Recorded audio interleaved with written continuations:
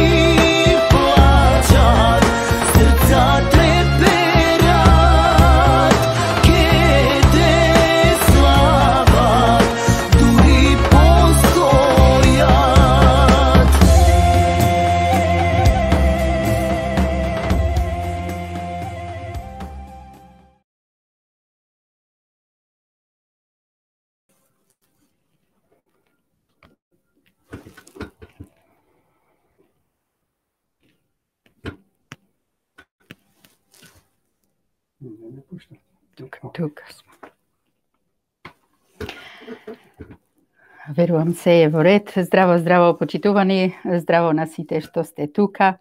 Верувам дека сите сте ни добро и дека сите сте со нас за уште едно другарување и уживање со македонски корени. Желба ни е да останете со нас до крајот и на оваа емисија. Земете учество, коментирајте, кажете дали не слушате добро, од каде не слушате и гледате, од каде се дружите со македонски корени. Секако споделете го и видеото да се шири, да знаат дека сме тука, дека постоиме, колку и да не негираат и ништат, нема да не поништат. Ке се сложите со мене. Македонците постоели и ке постојат, ке постои нашиот род македонски, ке не следат нашите генерации, што ќе не ги гајат сите наши белези, културата, традицијата, Ке не го чуваат минатото, ке ни ја чуваат историјата, со се што е белек, со се што е корен наш македонски и наше постоење и ќе го пренесуваат на нивните поколенија. Останете да се дружиме, почитувани, останете да уживате каде и да сте. Почитувани Facebook пријатели, имавме голем проблем сега веруваме дека е се во ред сега. Е се во ред, нека ни потврдат нашите ценети подржувачи ако не гледате и ако сте биле стрпливи и сте со нас. Ке ве поздравиме сите вас, Цане, Тања, Ангел, Снежанка, Бети, моја именјачка, Славица, Миријана, Кире. Да, во ред е сега, Бети, ми се чини. Поздрав до Злате, поздрав до вас, Татјана. Поздрав до Бранко. Поздрав до Пеце, до Тања, до фамилија Крстов. Ке ве поздравиме со еден прекрасен сплет на кореографски песни и ора од танец.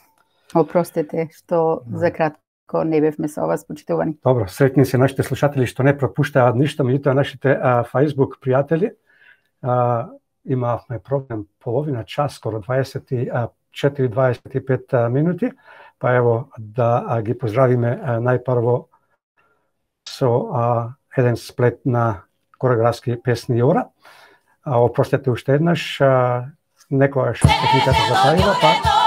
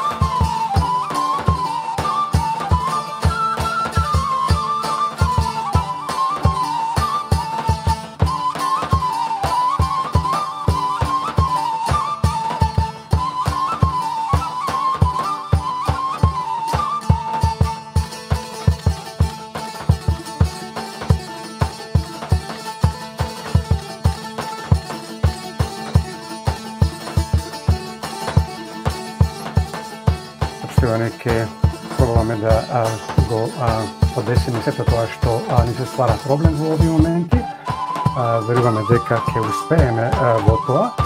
А, моментално се соочуваме со тој проблем. Меѓутоа, Еле, бети, а, да ја пуштиме една а, песна, ова може би а, ке ни ја донесе секата. Аде пеам за хероите, може би ќе биде подобро. Така, и Мишко Талевски за сите вас почитувани, доколку не слушате и гледате се Gì?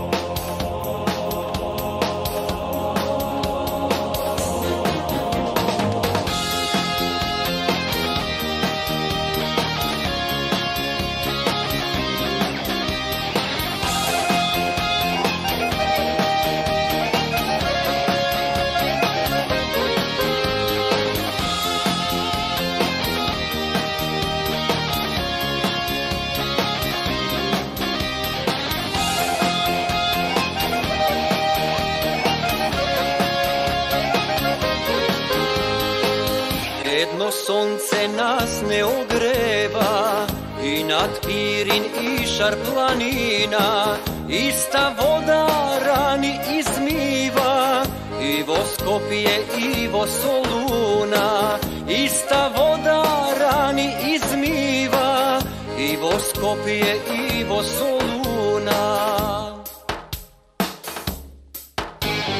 Jedno srce imam radi što mi bije slušni go Žalna pesna peteška kako kamen vigore Jedno srce imam radi što mi bije slušni go Солза ќе ти капне брела како сонце исконско Пејам за Гоце Карев Сандански, за сите македонски херои, пред гробот нивен сите се заколнавме, земјо ќе те чуваме. Пејам за Рацин Миладиновци, за сите наши преродбеници, пред гробот нивен сите се заколнавме и мене менуваме.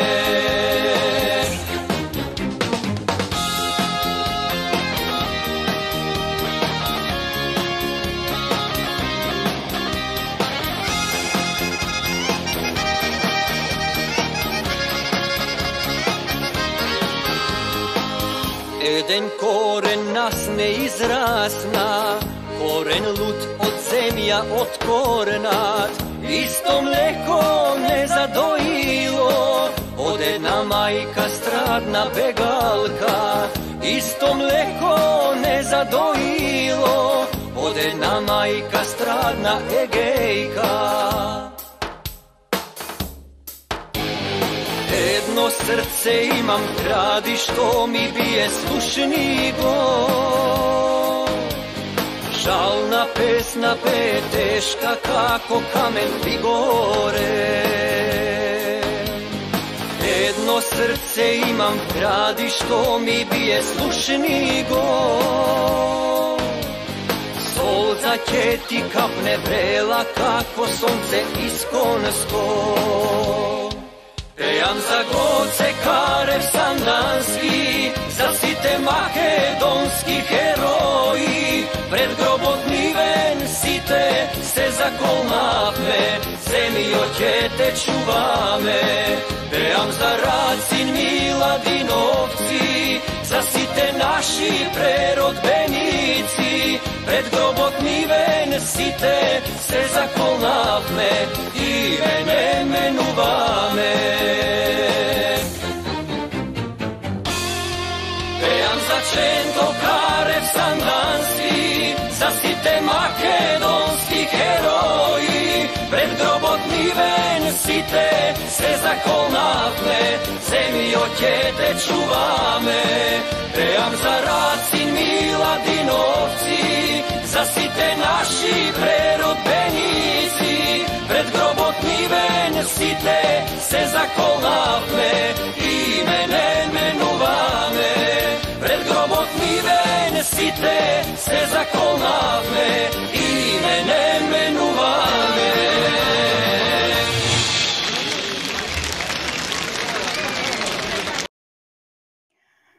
Good evening, dear listeners. Thanks for tuning in. Welcome to Makedonsky Koreni on 2RDJ Radio with Betty and John until 8 this evening.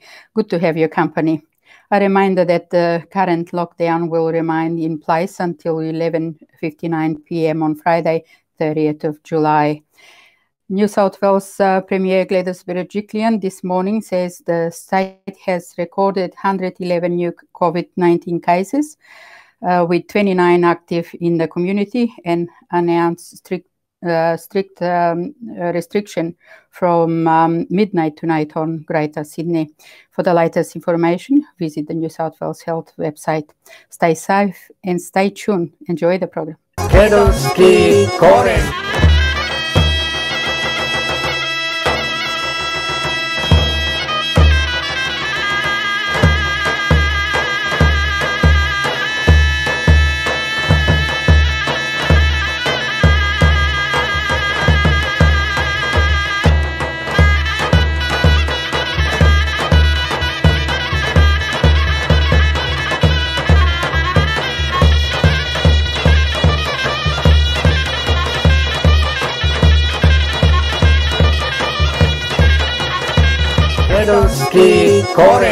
Во нашиот устав не пишува дека ние сме Република С. Македонија.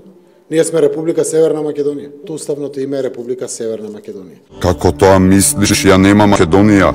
а Вардар зататнал од бруток до вливот и како ветар пролетен ја разбудил македонштината во луѓето. Како тоа мислиш ја нема Македонија? А Црнарека и Брегалница широко ги расшириле рацете кон исток и запад, за да ги прегрнат притоките од илјадници срца што бијат на македонски. Како тоа мислиш ја нема Македонија? А осоговието, како јарбол најсветол на светот му посакува да добре дојде на македонски јазик. Како тоа мислиш ја нема Македонија? А Шара е светилник што бдее над полуостровот, како гајрет за сите што обесправено почувствувале темнина. И како тоа мислиш ја нема Македонија, кога виножитото распукало од Исаро до цареви кули за да ги растера темните облаци што се обидоа да ни го затемнат сонцето.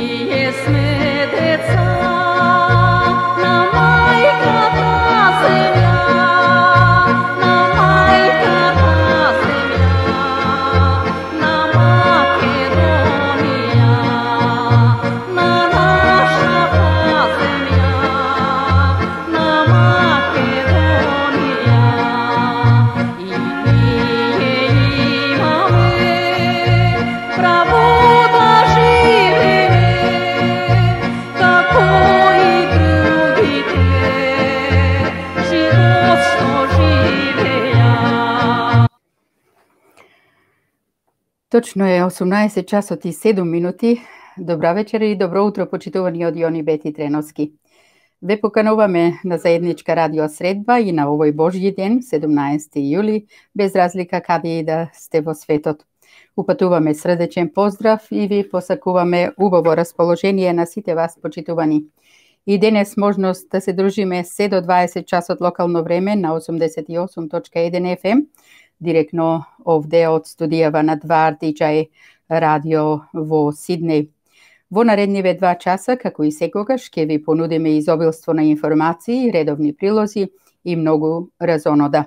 Чест и задоволство ни е да го најавиме гостувањето на академик господја Катица Ќулавкова, редовен член на МАНУ, писател, поет и јазичар. Слушајте ја внимателно, има многу да ни каже. Секако, на вечерашнава агенда, почитувани, нема да изостанат. Убавите наши македонски песни и ора кој избор веруваме и овој пат ќе исполни. Многу радост, многу среќа и убаво расположение кај сите вас почитувани. Да напоменам и за опциите за наше следење на веб страната на radio2rdj.com преку интернет апликациите streama.com коса црта радио и чунин коса црта радио. Директно и визуелно следете не на нашите Facebook профили, доколку се биде во ред. Можност директно да земете учество со ваши коментари, ваши реагирања и подршка за нас. Но не заборавајте да споделете со вашите роднини и пријатели. Одберете опција и овој пат преку која непречено ќе видите дел од емисијава на македонски корени. Верувам ќе го задржиме вниманието на сите вас почитувани. Останете со нас се до 20 часот локално време и уживајте со македонски корени. Добро ви вечер, добро ви утро и добар ви ден, добри луѓе. На здравје нека ви биде напитокот кој што го пиете, го испивте или пак допарва ќе го пиете а јас немав време да го пијам мојот омилен напиток, бидејќи ми се створија проблем пред 18 часот. Едно извинување до Facebook пријателите и сите оние кои што не следат преку социјалната мрежа дека а, имавме огромни проблеми, па се надеваме дека ги исправивме. Ви благодариме за стрпливоста и за моралната подршка. Почитувани слушатели, и на вас ви благодариме неизмерно, бидејќи вие сте заедно со нас од 95-та година, а секогаш не пратите, не пропуштате ни една емисија, од се срце ви се заблагодаруваме и капа ви симнуваме за тоа. И денес ќе ви понудиме одлична програма, се надеваме дека ќе го задржиме вашето внимание до крајот на емисијата на македонски корени со вашите доматини Јони Бети Треновски. Така, најправо на сите што пиете, како што ја кажа и колегата Јон, и што и да пиете, нека ви биде на здравје, почитувани, на здравете за убаво расположение кај сите со македонски корени. А, за вас, за ваше убаво расположение, упатуваме и музички поздрав со композицијата До кога Боже и Спасен Силјановски. Да, Уживајте. до кога Боже, само тој си знае до кога, па се надаваме дека Господ секојаш ќе биде со нас, бидејќи ние во Него ја даваме нашата, нашата, нашата мисла и во Него само веруваме. Ево ја, до кога Боже, спасен на корени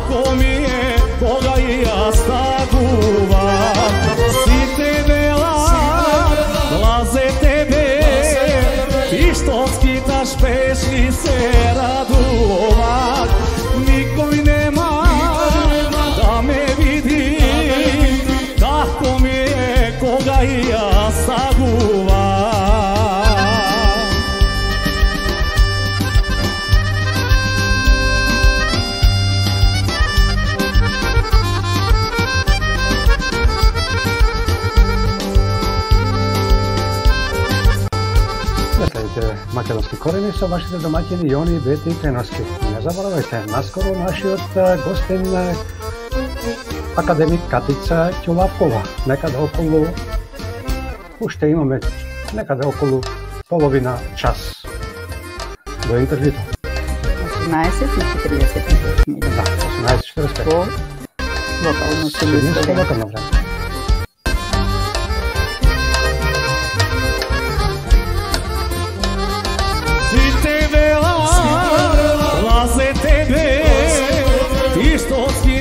Песни се радува, а никој нема да ме види, како ми е кога и јас стагувам. Сите вела, лазе мене, ти што скиташ песни се радува,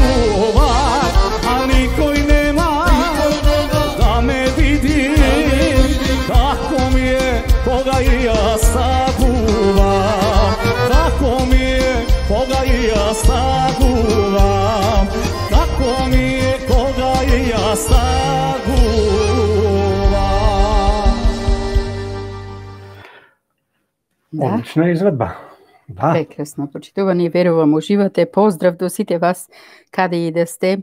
Поздрав до Ангел, до Радио Охрид, поздрав до Охриѓани, поздрав до фамилија Николовски, до Јанкулов фамилија, до Маријан Георгиевски, до Ѓорги, до Цане, до Олгица, до Маријан Ѓоргиев. Исто така многу поздрав до вас. Маријан, верувам уживате во Македонија. И до сите вас почитувани каде и да сте. Ке Ево уште една песна бети да пред да пуштиме две рекламни пораки од студиото на Македонски корени овде од Туар Диджај, а Босо Моме, поздрав до сите вас почитувани, а нека оди специјален поздрав до а, а, до, до Тања и незината мајка кои што се наоѓаат во Мелбурн, Викторија. Така, поздрав до, до нив, поздрав и до сите во Мелбурн што не слушате почитувани. Уживајте со Елена Андонова и Босо Моме. šeta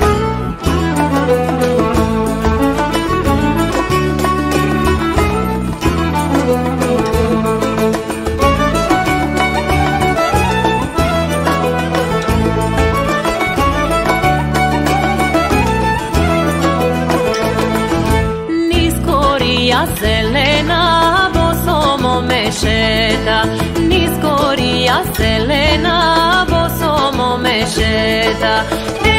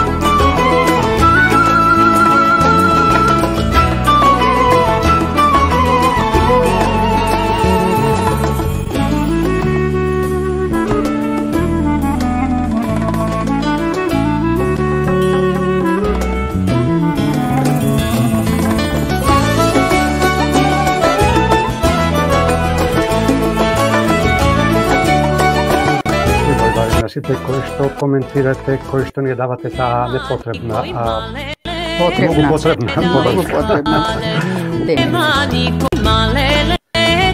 Проблемот да не извадија малку од концентрација. Ама, ете вата.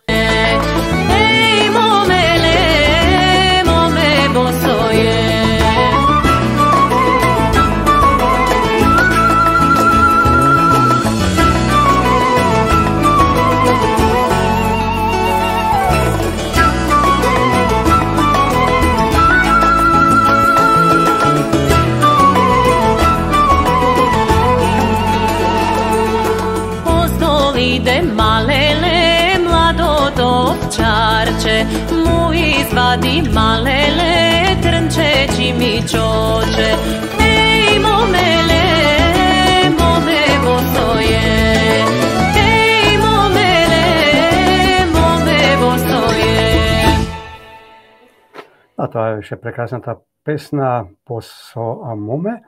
А, а беше поздрав до сите вас, а специјалниот поздрав одеше до Тања и незината мајка. ти ја побара оваа песна од Петранка Костадинова, а меѓутоа ние одлучивме дека оваа песна е е исто така многу добро отпеана од помладата генерација, тажно е зборовите се тука, а природата исто така се го направи своето, ве вративме малку е, вие разбуивте носталгијата и ве вративме малку во родна Македонија, во прекрасни предели, каде што е снимено и ова видео.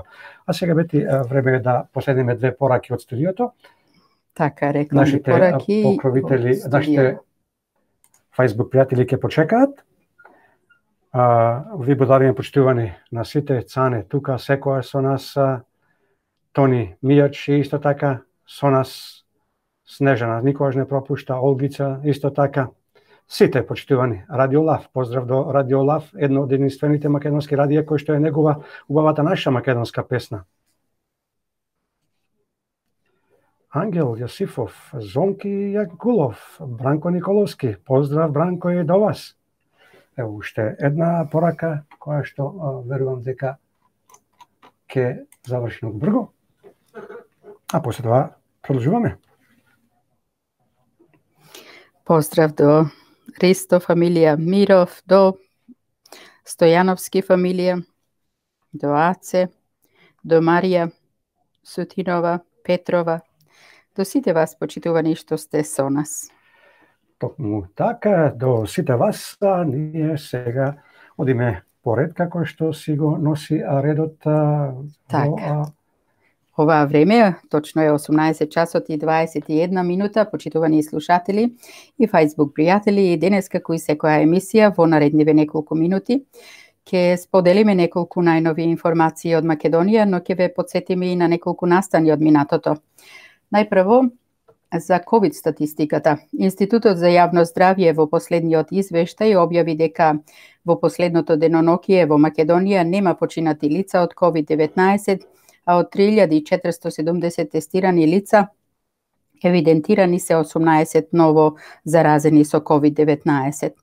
Веста од политиката ја започнуваме со информацијата за поплавите кои ја зафатија Германија, повеќе од 120 мртви и преку 1300 исчезнати е билансот од катастрофалните поплави таму. Во Македонија вчера започна судскиот процес за случајот плацеви на Водно, обвинителката Стефанова побара да бидат прогласени за виновни, а адвокатите на обвинетите не се согласуваат со неизиното барање, тврдат дека ќе го докажат спротивното. Во овој судски предмет обвинети се поранешниот премиер Никола Груевски, поранешниот шеф на УБК Сашо Мијалков, бизнисменот Орце Камчев, неговата мајка Радка Камчева, Ристо Новачески и Ненат Јосифовик а после експресното донесување на законот за изградба на коридорите 8 и 10 од страна на претениците од парламентарното мнозинство, председателот Пендаровски исто така експресно го подпиша и покрај предупредувањата од а, антикорупцијската комисија. Антикорупција најави оспорување на овој закон пред Уставен суд. Државната изборна комисија вчера таму изврши изборна компанија од која ќе го набави интегрираниот систем за биометриска идентификација на гласачите со така наречените терминали за читање отпечатоци од прст. Детали за ова се најавени за денес напладне. Шефот на дипломатијата Бујар Османи по стапките на премиерот Заев со познатото пупу не важи пред УЕФА го бранеше името на Фудбалската федерација на Македонија, а сега ретерира од тоа и се наслони на Северна. Корумпираното судство таму, наместо да ги чита извештаите на меѓународната заедница и мислењето на јавноста, престот го вперува во народот дека тој бил виновен за корупцијата во судството и предлог законот за државјанство по се изгледа ќе се најде пред пратениците на 22 јули. Пообширно за овие настани, но и за многу друго, ќе чуете и ќе гледате во редовниот термин вести на македонски корени во 18 часот и 30 минути, но и од интервјуто со нашата гостинка, академик Катица Кјулавкова. Останете со нас. А ние остануваме и понатака на тема Македонија за да ви пренесеме и подсетиме на неколку поважни историски датуми од македонското минато, кои што се случиле помеѓу денешниот датум 17 јули и 23 јули. Денес, како што знаете, е 17 јули и е 198 ден во годината според Грегоријанскиот календар, а 199 во престапна година. До краја на годината остануваат уште 167 денови. На 17 јули во 1986 година почина македонскиот глумец Ристо Шишков. На 18 јули во 1967 година во Охрид на третиот црковно народен собир архиепископскиот синод донесе одлука за прогласување на Македонската православна црква како наследничка на обновената Охридска архиепископија. Одлуката ја соопшти новиот архиепископ па Охридски и македонски господин господин Доситеј. На 19. јули во 1921 година роден е македонскиот револуционер, борец во НОП и народен херој Борка Талевски. На 20. јули во 356 година пред новата ера роден е Александар III Македонски, крал на Македонија, еден од најголемите војсководци и освојувач на сите времиња. На 20. јули во 1879 година роден е и Петар Манджуков, македонски револуционер на 23 јули во 1942 година во Софија, бугарските власти ги стрелаа Никола Јанкова Царов, македонскиот поет и патриот, Антон Поп Дончо, македонски револуционер и Атанас Романов, македонски патриот. На 23 јули во 1872 година роден е македонскиот револуционер Спас Мартинов, а на истиот датум 23 јули во 1915 година роден е македонскиот народен херој Тихомир Милошевски. Со тоа слушнавте за дел од поважните датуми за оваа недела почитувани во наредниве минути овде на Македонски корени. Пуштиме песна, Бети, така. за Александар Македонски, бидејќи кажавме дека на денешен, не на денешен ден, него оваа недела е неговиот роден ден. Па, а, ево... А... И група Цар Самуил да. за сите вас почитувани.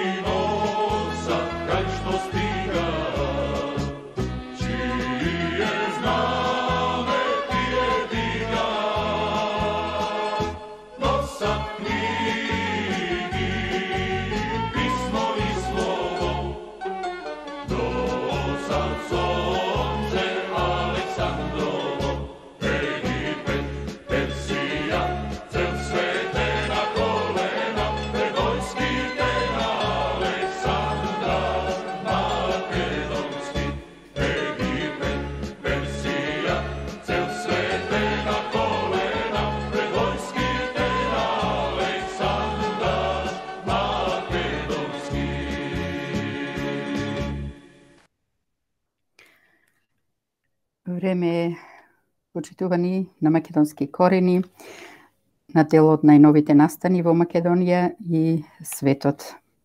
Останете се.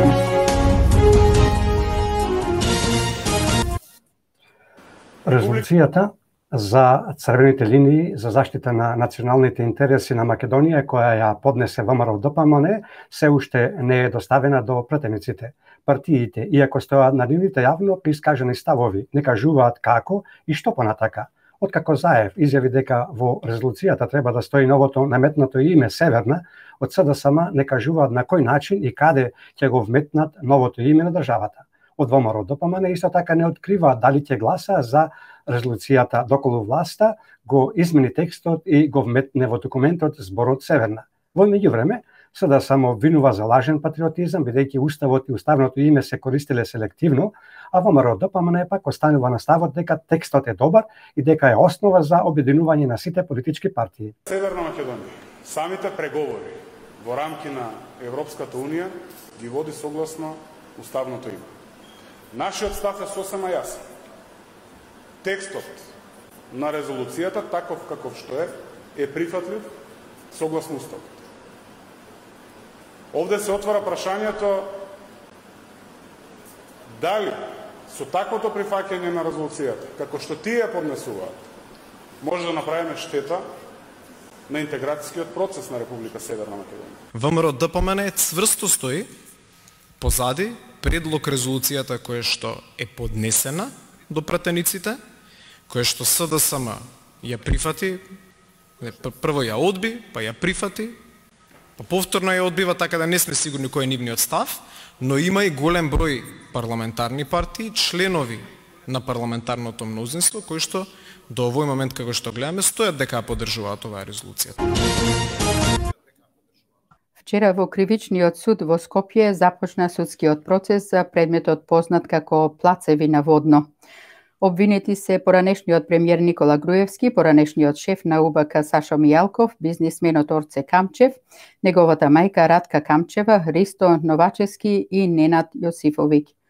Обвинителката Лиле Стефанова се надева со меѓународна помош да докаже дека обвинетите се виновни за делото кое им се става на терет, односно за перење на пари, помагање и прикривање на имот, и побара обвинетите да бидат прогласени за виновни. Адвокатите на одбраната не се согласуваат со барањето на обвинителката Стефанова. Треба да прашате врз што се темели обвинението. Затоа што перење на пари е последица на едно друго кривично дело кое мора да му предходи. Обвинителството нити го утврдува, ниту го предлага.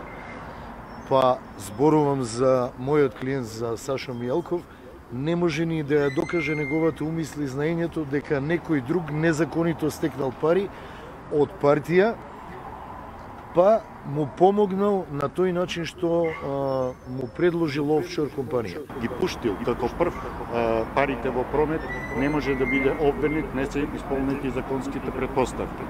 Трансакции, финансиски, без економско вештачење, какво што ниту е најавено, ниту направено од обвинителството, не може да има. Ќе докажеме дека ништо од ова не е со средства на тој начин и на било кој друг, туку дека сите средства кои што потекнуваат во овие купување на удали се од деловно работење на Орка компанијата. Фудбалската федерација на Македонија е независна и непрофитна организација која што во централниот регистар е регистрирана како здружение, кое што не прима државни пари.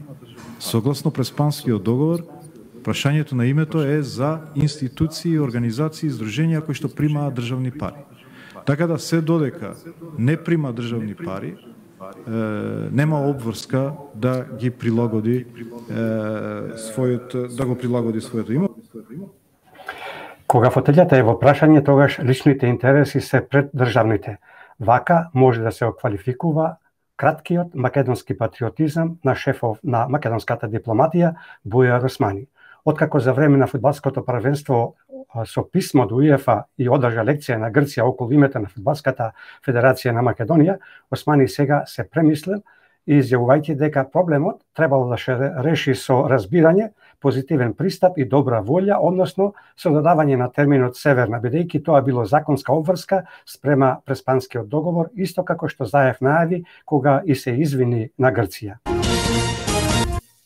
Председателот на Кривичниот суд од Скопје Иван Џолев за корумпираноста во судството прстот го впери во граѓаните, а не во судиите, бидејќи судиите биле тие честните игнорирајќи ги сите анкети кои говорат дека судството е високо корумпирано. Можете само да протежирате дека се корумпирани функционерите, а граѓаните не се корумпирани.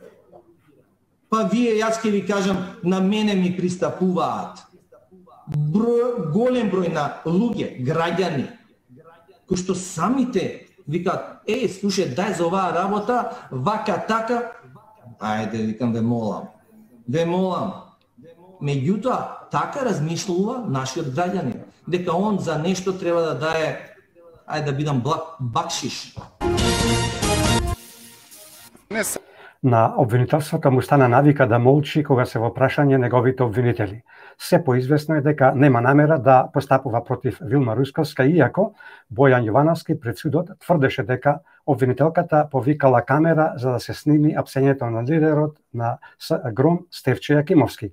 Сега Јовевски молчи, а адвокатот на Стевче Јакимовски пак најави дека ќе поднесе кривична пријава против Вилма Рускавска за прекршување на три члена од кривичниот закон, доколку обвинителството продолжи да ги игнорира наводите. По еден по три члена од кривичниот законник таа има прекршување, значи имаме неизино влијание на јавноста, неизино влијание во предметот, имаме а, сето она кој што дури вие медиумите го направивте паралелата со случајот на на господинот Љубе Бошковски е и слична и во овој случај, а секако имаме и класична злоупотреба на службена положба. Владата на Заев вчера со одлуката да го намали данокот на додаена вредност за електричната енергија на 5%, всушност ја постави лизгалката за граѓаните. Сега се поставува и логичното прашање дали е овој пат граѓаните ќе дозволат да бидат надсанкани. Нека се прави заради изборите, моје мислење. Струјата е економска категорија, нити може некој да е поевтини, да е поскапи без некои економски параметри, да кажеме. Народ да гласа за нив, мора така да направат. Зашто до сега немаше ништо такво? И зашто не произлезе ништо пред неколку месеци, него сега произлезе. Овој закон Вчера во Македонското собрание пратениците од парламентарното мнозинство експресно го изгласаа законот за градење на коридорите 8 и 10, а и председателот Пендаровски пак експресно го подпиша, иако корупцијската комисија побарала од него да не става подпис на законот бидејќи постои висок степен на корупција. Антикорупционерите сега ќе се обидат да го стопираат преку Уставен суд. Како посебен закон, во суштина го суспендира правниот систем во државата, исклучувајќи примена на други закони во целост или дело. Односно, овој закон ќе се применува без оглед на другите применливи закони и тоа во врска со сите прашања уредени со истиот. Суспендирањето, односно исклучувањето на други закони, како што стои во самиот закон, а кои представуваат позитивно право, представува законодавно правен преседан со кој сериозно се загрозува владењето на правото како една од темелните вредности утврдени во Уставот, како и правната сигурност како предуслов за економски напредок и раст. Ваквиот законодавно правен преседан во никој случај не е и не може да се третира како јавен интерес, а во чија суштина е заштита на владењето на правото, слободата на пазарот и предприемаштвото и спречувањето на криминалот и корупцијата. Ако состојбата во со коронавирусот остане вака стабилна, учениците во Македонија од септември се враќаат во училишните клупи во спротивно. Наставата ќе се одржи како и досега онлайн, изјави министерката за образование Мила Царовска. Царовска не прецизираше кога предлог законот за дигитализација кој пред известно време беше повлечен од процедура, ќе се врати во собранието за расправа. И очекуваме да, ако остане епидемиолошката состојба вака, од 1 септември сите ученици ги видиме во училишните клупи и полни училишни дворови со смеја и джагор детски. Секако дека ако се влушува епидемиолошката состојба, образовниот систем е подготвен и за онлайн учење, како минатата учебна година, каде што покажавме дека успеавме во 100% да го спроведеме распоредот и наставната програма, и тоа од независно надворешно истражување се покажа истото. И имаме трет модел, кој што е хибриден или една недела учениците во училница, половина од нив, половина следат онлайн. Наредната недела тоа се менува. И очекувам да секако направиме една рунда на а, дебати од септември месец, кога сите и ќе се вратат а, од летните одмори и да понатаму еве одлучиме како ќе го пуштиме законот во а, собрание, иако ставот на Министерството и на владата дека не одстапуваме од процесот кој што е започнат како дигитализација, затоа што тоа е единствениот излез за а, нашите ученици да станат подобри.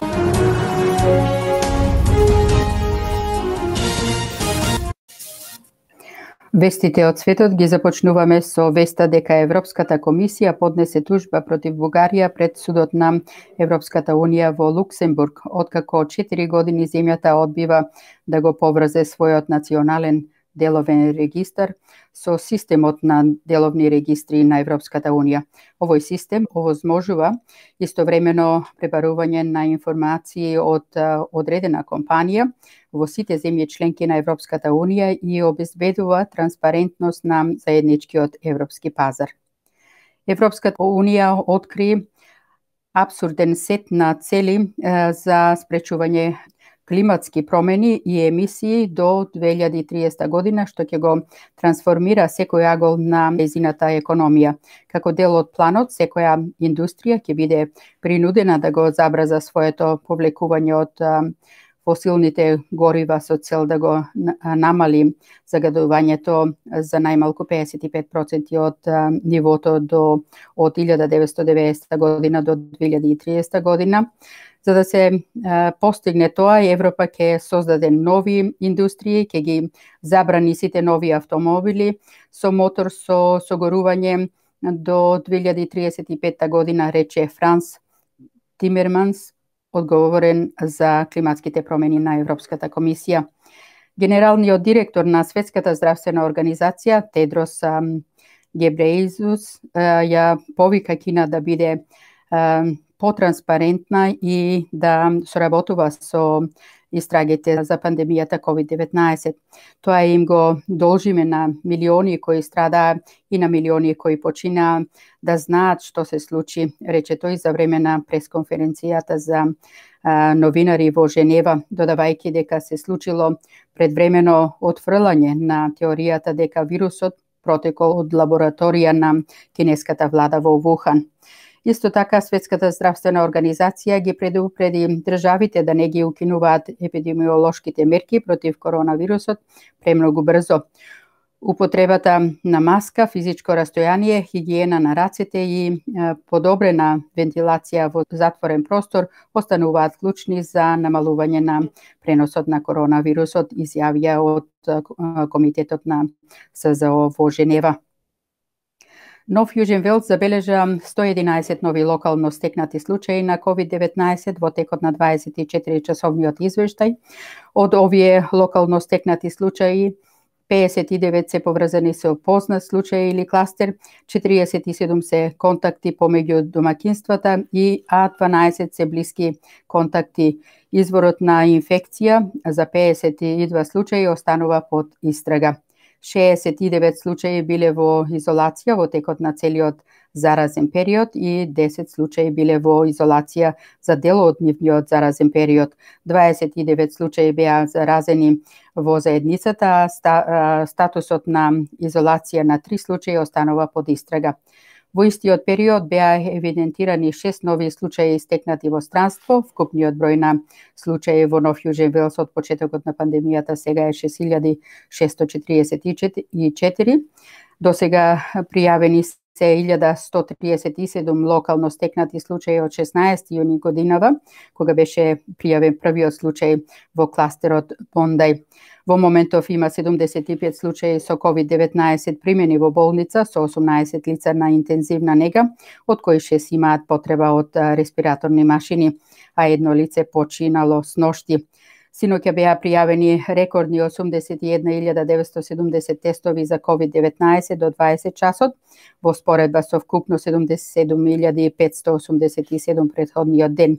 Нов Јужен Вел синоќа администрираше рекордни 23.715 COVID-19 вакцини во текот на 24 часа до 20 часот вклучително и 7.722 во Центарот за вакцинација кај Олимпискиот парк во Сиднеј.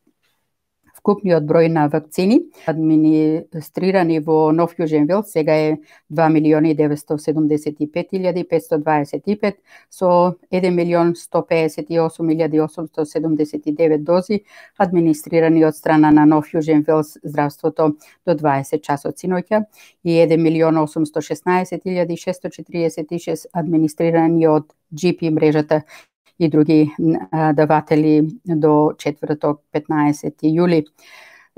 Ве молиме редовно проверувајте ја веб страната на владата на Нов Јуже Велс и следете ги соодветните здравствени совети ако сте присуствувале на место за загриженост или сте патувале на јавен превоз на пат во исто време со потврден случај на COVID-19.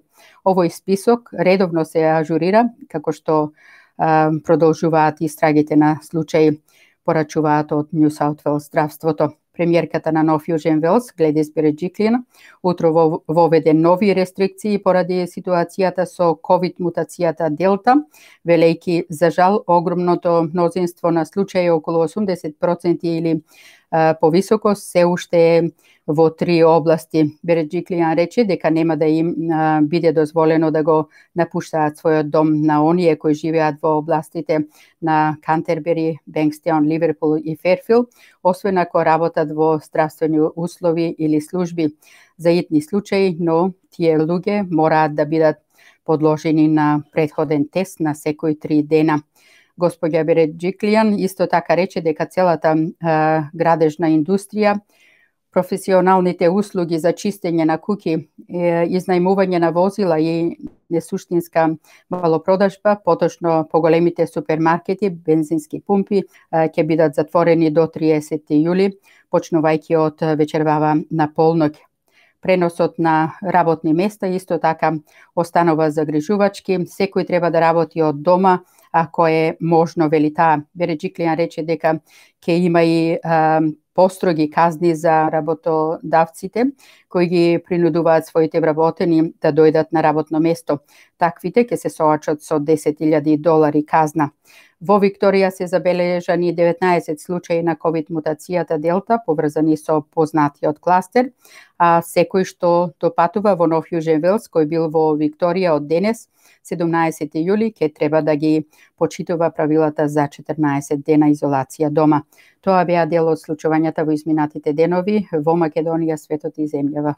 Почитувани слушатели и Facebook пријатели, а ние со ќе се одмориме со една музичка numera, а веднаш потоа ќе го поведеме и разговорот со а, нашиот гостин, овој пат гостинка, академик Катица Ќолавкова. Тапан грми за сите вас. И Болеро Бенд. Уживајте, почитувани. Специјален поздрав до Пера.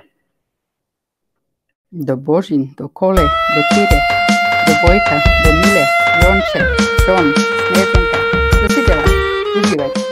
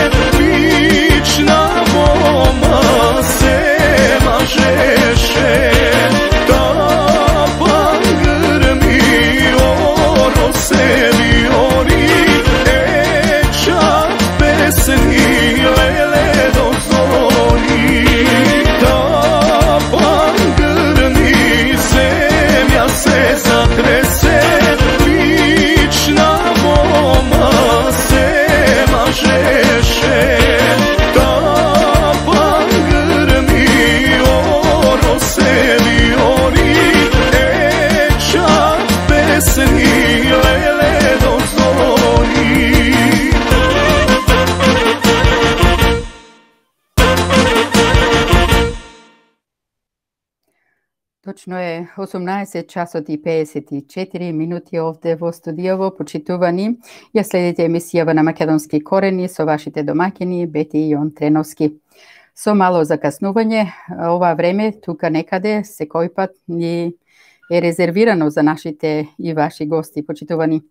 Следува разговор овој пат со нашата гостинка, академик Катица Ќолавкова, редовен член на МАНУ, писател, поет и јазичар. Ке и посакаме наскоро топло добре дојде овде на а, македонски корени, а вие останете и понатака почитувани со македонски корени, затоа што најдобро е, вие да го слушате први, а да не дозволувате некој друг да ви раскажува. Ви благодариме на сите што сте со нас. Поздрав до Киро, до Добрица, до Владимир, до Аки, до Кати, на Трневски, Грневски, Бранко и до сите вас почитувани. Верувам веќе е, во ред, се е во ред со линковското поврзување, се гледаме, верувам и се слушаме. Ако е така, господја Ќолавкова, добро ви утро и добро ни дојдовте на Македонски корени. Добар ден, добро утро. Ви благодарам на поканата и жал ми е што дојде вака до задоцнување, ама еве сега можеме така, да почнеме. Така. Добро ви утро и од мене и добро ни дојдовте на Македонски корени и ви благодариме што а, не удостоивте а, нас, а, но пред се нашите слушатели и гледачи со ваше, вашево учество денес да другарувате во наредниве неколку минути заедно со сите нас. Академик Ќулавкова, Па јас мислам дека треба да ни биде чест на писателите и интелектуалците од Македонија да на ваков начин стапиме во контакт нели со македонците во Австралија да не и македонците од цел свет, ама посебно бие во во Австралија, така што еве ова е прва таква прилика за мене и не смеев да нема да биде последна. Благодарам. А, инаку, Припремајќи се за овој разговор, наидовме на едно ваше интервју од ноември 2018 година, реализирано за Слободна зона на телевизија Европа, ако не се лажам беше тоа, во време кога вие сте учествувале на една научна конференција по повод 120 годишницата од раѓањето на поетот Димитар Татев. Вниманието ни го задржа еден ваш став и теза во врска со изнастувањето и делата на Димитар Талев, а кои тези се многу важни и треба секој еден да ги слушне, особено оние од Мешовитата комисија и политичарите се разбора, но и аналитичарите.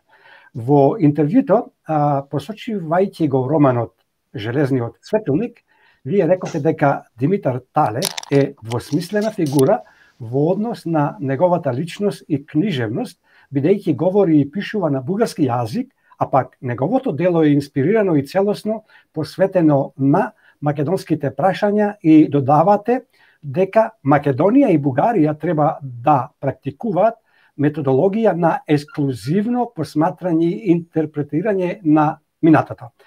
Господја Тюлавкова, пред да продолжам, дозволете за нашите слушатели и гледачи, а истовремено и на вас да ви ја освежиме меморијата, да го пуштиме тој дел од интервјуто, а, доколку а, успеам да... Не дозволи техниката, така. Да, ја мислам дека ќе биде све во ред, а, само за а, секој а, случај, а, да видиме само дали ќе успееме. А, да, а, тука сме, а, само да видиме, да, тоа е тоа. Алеф е општо земено една амбигвитетна, двосмислена фигура во смисла на ете тие односи меѓу неговата личност и неговата книжевност. Како личност тој говори и пишува на бугарски јазик, а како книжевно дело, неговото дело е инспирирано и целосно посветено на македонскиот топус, на македонскиот въпроси или прашања и на македонската проблематика и пода, од подалечната историја и од поблиската. Треба да почнеме да практикуваме една методологија на инклузивност, на инклузивно посматрање и интерпретирање на минатото. Е, тоа беше краткото видео.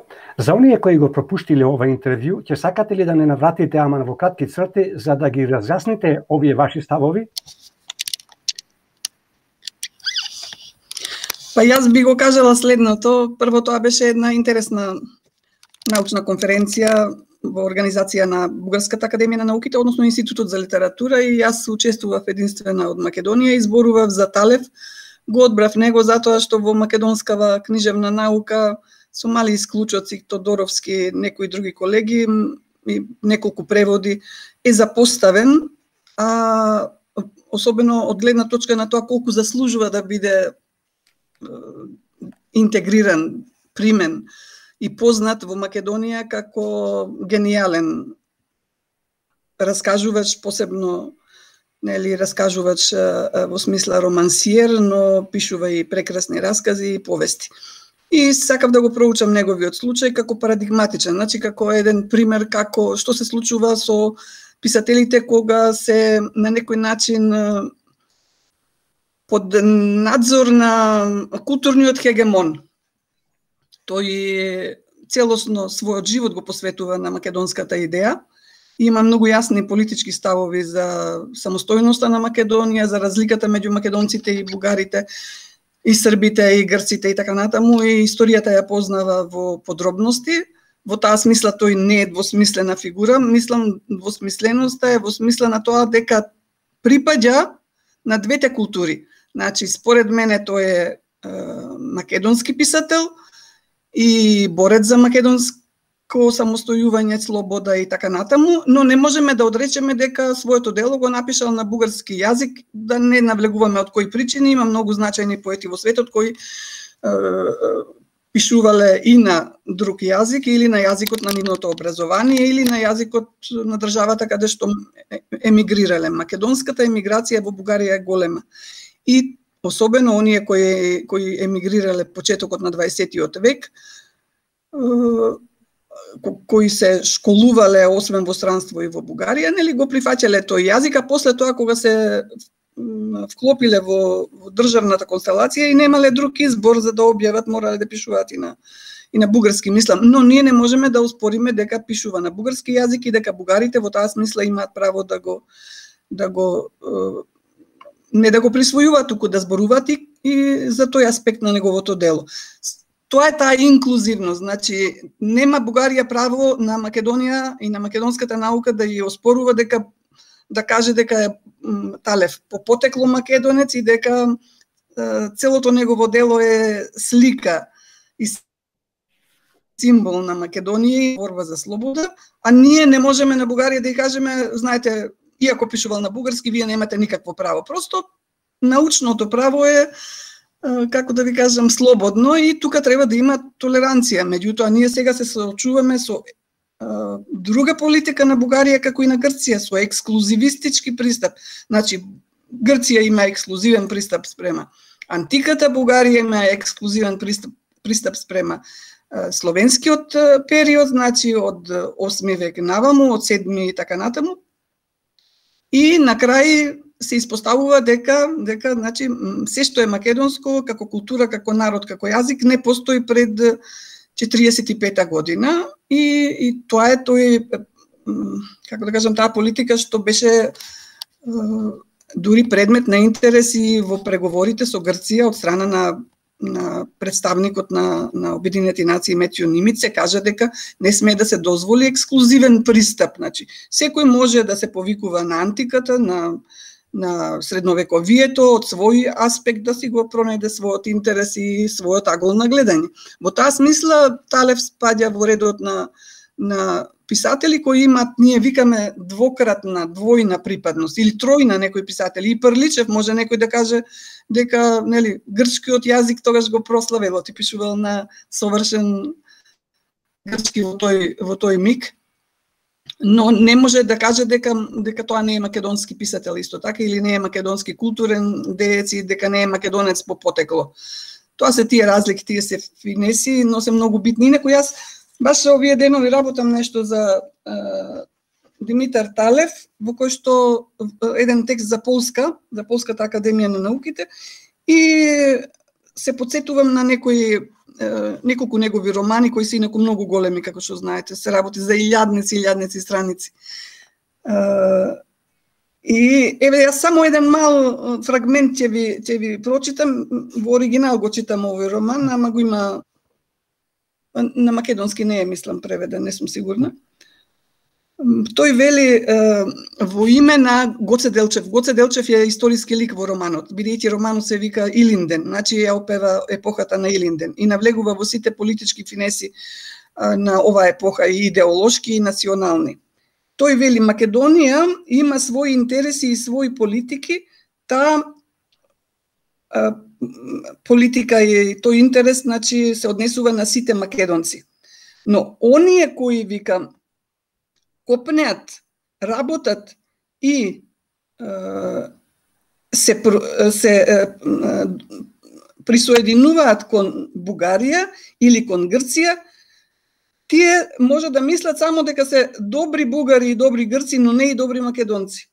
Такви бугари или грци го поддржуваат вечниот раздор меѓу балканските народи кои треба да живеат во братска дружба и да бидат посречени. Македонецот вика припаѓа на сите Македонија припаѓа на сите македонци без разлика на религијата, нацијата и јазикот. Гледате какви едни сваќања во тоа време многу јасни дека дека Илинденската борба е борба за самостојна Македонија и дека припаѓа на македонците и тоа е македонски интерес и затоа затоа не е ни бугарски, не е ни грчки, не е ни српски и е, со тоа тој ја проектира идеологијата на Гоце Делчев, што сега бугарите сакаат да го присвојат ексклузивно, он е само бугарин и ништо од друго од бугарин.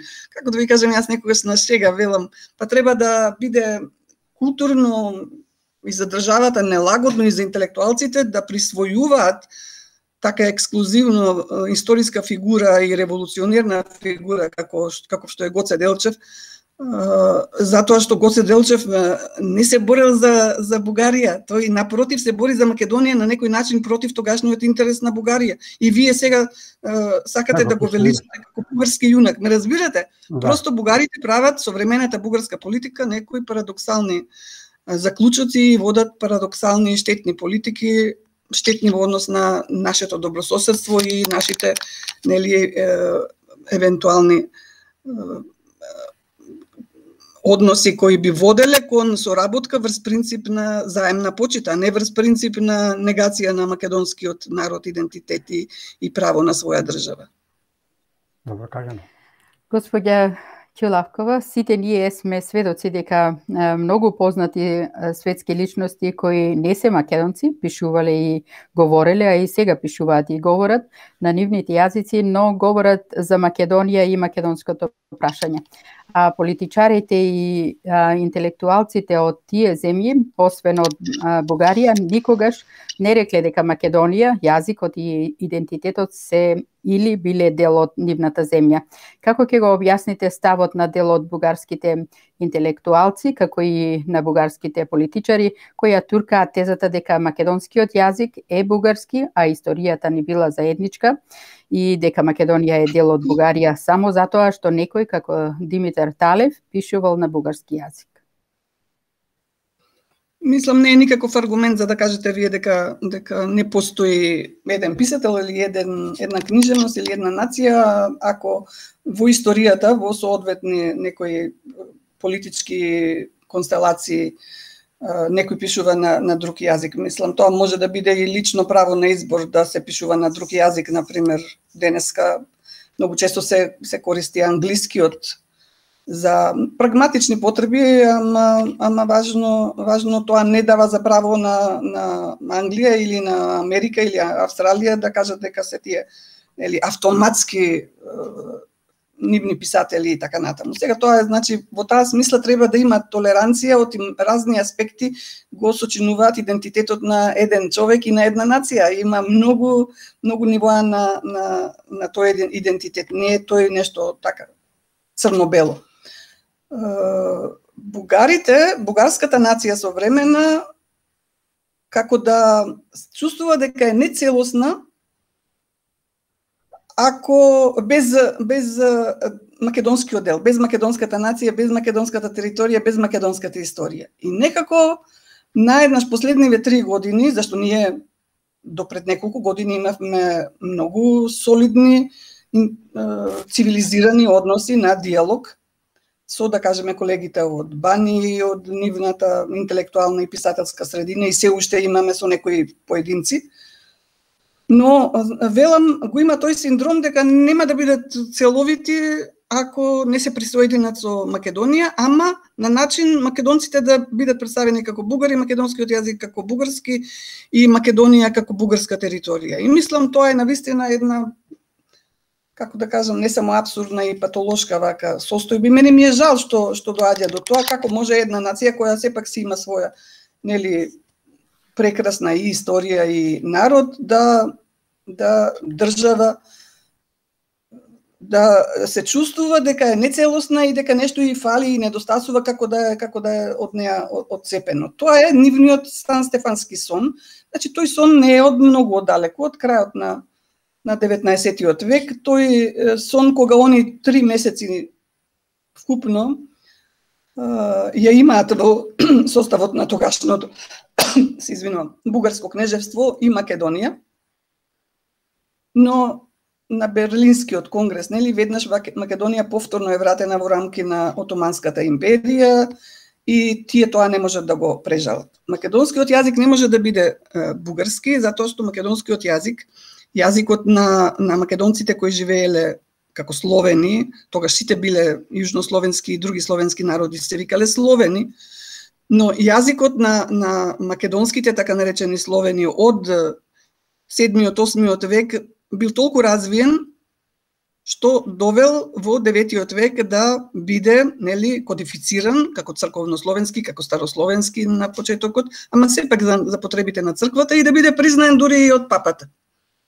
Значи, тој јазик е основата говорен јазик и тие диалекти од Солунско кои и денеска се се присутни во во Солунско се основата на сите словенски јазици и тоа не значи дека ние сега имаме како македонци право да негираме било кој јазичен идентитет на на русите или на полјаците или на хрватите или на бугарите или на србите. Меѓутоа, никој нема право да каже дека македонскиот јазик нема свое потекло и дека нема никаква улога во развојот на на а, јужнословенските и на словенските јазици. Просто тоа не е точно. Македонскиот јазик е толку развиен систем и, и усовршен со тек на време, нели, што тој поседува свој диалектен систем. И не може да биде тој диалект на, на бугарскиот јазик, кога од бугарскиот јазик е толку оддалечен во последните два века, што, мислам, дури и во 19 век, разликите меѓу македонскиот и бугарскиот говорен јазик толку биле различни што се спорело околу тоа дали може и дали треба да се направи еден заеднички кодифициран пишуван писмен јазик. И тогаш и тогаш значи средината на 19 век 1864 година Партени изографски прави на, на, на граматика на на он нарекува славо македонскиот јазик на На 240 страници во Цариград и објавена е книгата, но исчезнува, како што е запленета е книгата на, на Крсте Мисирков. Сакам да кажам дека, дека непотребно се навлегува и многу штетно врз принцип на некој, јас го нареков културен империализам и културен хегемонизам, се нарушуваат односите меѓу, меѓу словенските народи во соседството на, во, во интерес на, на други туѓи интереси, нели, туѓи држави. Тоа е тоа е една политика која е локално сега обнова на тој културен империализам, јазичен империализам, како што се нарекува во теоријата, кој мислам дека само ќе биде на штета на приближувањето на, на, на, на нормалната соработка, диалог и, и развој на нашите односи меѓу меѓу народите словенски на на регионот на Балканот. Мислам дека за жал тој културен империализам владее во цел свет, не, во регионите каде што предходно имало некакви такви појави на, на, на хегемонија и јазична и културна и дека денеска би требало да биде така веќе ставена дакта, меѓутоа еве за жал се обновува, но не е проблемот тоа толку што само Бугарија застапува ваква една една погрешна и штетна политика, туку проблемот е во тоа што дел од македонските интелектуалци и од политичката елита ги прифаќаат тие ставови, односно се толку рамнодушни спрема историјата и спрема историската вистина, толку се индиферентни, толку се е, е, некритички се однесуваат спрема историската вистина е, и спрема интересот актуелен на македонската држава и на македонската нација, што на некој начин викат, а па не е битно, нели, историја си историја, така историја. И, и тоа прави ненадомеслива штета. И јас морам да кажам дека сето сепак е поврзано и со меѓународни политички интереси и дека започнува уште 1993 година кога нам ни се не ни се прифати уставното име Република Македонија. Туку се сме примени во Обединети нации под референцата ФИРОМ, поранешна, нели, Југословенска да. република Македонија. Потоа дозволивме еден еден исто така упат во демократскиот систем и, и упат во сувереноста на Македонија 2001 година, па 2004 на некој начин и тоа продолжи се до преспанскиот договор и бугарскиот договор кои ете иако и јас лично поверував дека може би ќе биде баш добрососедски, оти ние можеме да зборуваме за споделена историја, ама секој ќе си ја чита на свој начин и има право да си ја толкува на свој начин. А Така. тоа не го разбираат, они мислат дека она што е заедничко е нивно. Значи, заедничката историја меѓу Македонија и Бугарија е бугарска, или меѓу Македонија и, и, и Грција во антиката е грчка, што е нели крајно крајно неточно и крајно штетно. Академик Килавкова пред околу два месеци Мано го промовираше проектот наречен Прилози кон историјата на македонската култура. Вие, како главен уредник на тој проект, ќе ни кажете ли што содржи ова заедничко издание, кој период опфаќа и дали се работи само за историјата и културата на Македонија во овие граници кои што сега ги имаме или пак станува збор за Македонија во поширока смисла? Благодарам на ова добро прашање. Значи, ние појдовме од тезата, редакцијата на овој проект и на ова издание, начело со председателот на МАНУ, академик Липчо Коцарев. Појдовме од тезата дека македонскиот јазик, македонскиот народ, македонската култура постоеле и постојат и надвор од границите на сегашната држава или на, на оние држави каде што сме припаѓале империи заправо.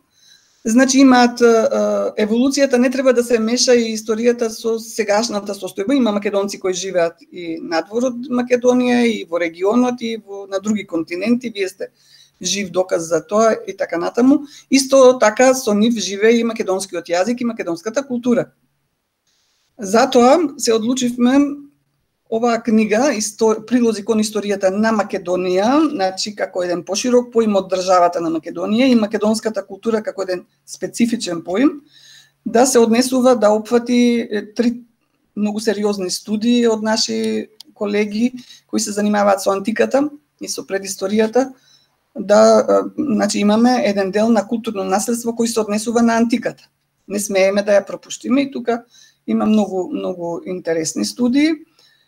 Потоа имаме еден дел кој што се однесува на средниот век и тука имаме текстови кои се однесуваат на политичката историја на Македонија на некој начин. Потоа имаме еден цел блок кој се однесува на културната историја со акцент врз врз 19 век. И на крај имаме, затоа што планираме друг том да биде е, посветен на посовремената историја, значи по Крстем и Сирков, да кажеме, и кодификацијата на јазикот до, до денес.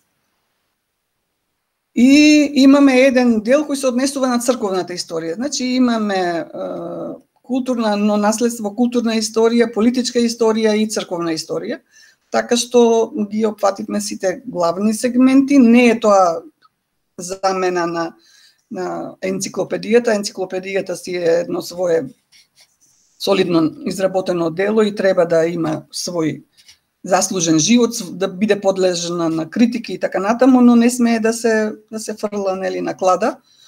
И ние не сакаме да ја заменуваме, но во случајов направивме нешто што е актуелно и што е, да кажеме, научен одговор, научна една реплика на тези кои не се точни, било да се бугарски или грчки или некои некои други, ама главно се соочуваме со негации од тие страни, зад кои што може би се крие и некој друг, некој поголем ум глобален, ама како и да е се артикулираат преку нашите блиски соседи со кои што јас лично би сакала да имаме многу многу пријателски односи. Таа книга е, значи, да. голема, мене ми е жал што во Охрид не ја, во моментот ја немам, оти ја, ја подарив, но прва прилика можам и да ви пратам по некој што доаѓа во Австралија да имате, но ќе да. ја поставиме да нојуве на, на веб страницата на Ману и сите други да. текстови. Еве, јас ја носам тука од последното издание на Ману, преродбата и по неа. Да, одлично. Природбата да, и по неа се однесува на Григор Прличев, еден наш собир минатата година кога беше се под карантина, ма ние работевме, и се однесува на Димитрија Чуповски и на Македонското научно литературно другарство од формирано 902 година во Санкт Петербург. и работело активно некаде до 917 година и Чуповски заедно со Крстен Мисирков, брат му на, на Чуповски и така натаму ги имаат поставено во еден меморандум во нивниот устав, статут и така натаму, во сите нивни преписки, писма, студии, па дури самото дело на Крстен Сирков, се рефлексија, одраз и, и огледало на нивните политички ставови за Македонија како како праведна држава на сите кои живеат во Македонија со доминантен нели статус и присуство на македонскиот народ и на македонскиот јазик, но со право на на сувереност како сите други народи и на рамноправност како сите други народи. Еве сега се случува еден век подоцна ние повторно да се соочиме со ситуација во која што ни се оспорува тоа право на сувереност и тоа право на рамноправност да бидеме да бидеме рамноправни, ни се одзема и така се се прави една историска неправда. И сега тука јас морам да кажам моти без да ви нели реплицирам, да кажам дека дека колку и да се убави тие утехи кои се да кажеме верски и слични, ние мора да најдеме и некој одговор и некое решение, некоја култура на отпорот за да за да излеземе од оваа ситуација, оти нема само да ни помогнат вишите сили, мораме и ние да се подприме на на своите собствени сили, тоа значи силите што ги имаме овде не само интелектуални на севкупниот македонски народ и на нацијата и на на сите вие кои сте во светот да помагате конкретно со конкретни дела, еве како и што правите, нели со ваши емисии и така натаму, но значи ни треба ни треба заеднички настап, ни треба обединување околу македонската кауза и идеја. Поспротивно може да се случи да бидеме нели така еден неправедно фалсификуван историски историски факт. Ке мора да побрзаме, имаме уште многу прашања. Така. Дали па, може сега може да запреме па да оставиме за друг пат. Така. Мора да се искажеме, токму така. Дали може да се каже дека ова дело кое го издадовте е еден вид замена за затворањето на македонската енциклопедија, но и порака... Па, ви одговорив на тоа прашање, мислам, пред малку, нели? Така. Може да го прескокнеме тоа прашање. Одговорив дека не може да биде замена, не. Така. Не, а, добро, ајде, да, бете имаш некое друго, да додеш нешто на тоа прашање, нешто, ако одговори Така, тај, зарем не можеше да се направат одредени корекции, ако беа толку спорни и кому му пречеше македонската енциклопедија, која за жал остана покриена со пластови прашина. Да, јас многу жалам што енциклопедијата како книга не е во оптеки, инаку вие знаете дека електронско издание се ширеше низ цел свет во јадници тиражи така што направивме една, една голема неправда спрема таа книга, таа можеше да оди со ерата, нели со грешки, ако имаше такви грешки, еве, ако сме повредиле на, во две референци нешто, можеше да се да се оди со така, со со некоја корекција.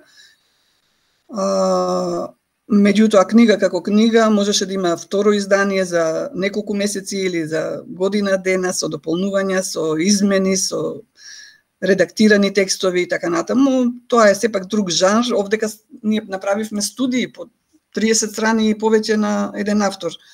Колективно дело 26 автори, значи кои истражуваат сега и од актуелниот перспектива некои настани во далечното и во поблиското минато. Така што сосема друг пристап имавме. Енциклопедијата треба да верификува, нели, да потврди легитимно, научно, конкретни историски факти, ние можеме во големи студии да ги толкуваме тие факти, така што не, не се замена, меѓутоа може некој да, да ја користи таа книга и во оваа смисла, нели, како објаснување на клучните и критичните периоди од развојот на македонската историја, народ и култура и со ова наше дело, Оти на вистина недостасуваше такво дело, недостасува после историјата на Македонија, ети енциклопедијата која не функционира како што треба.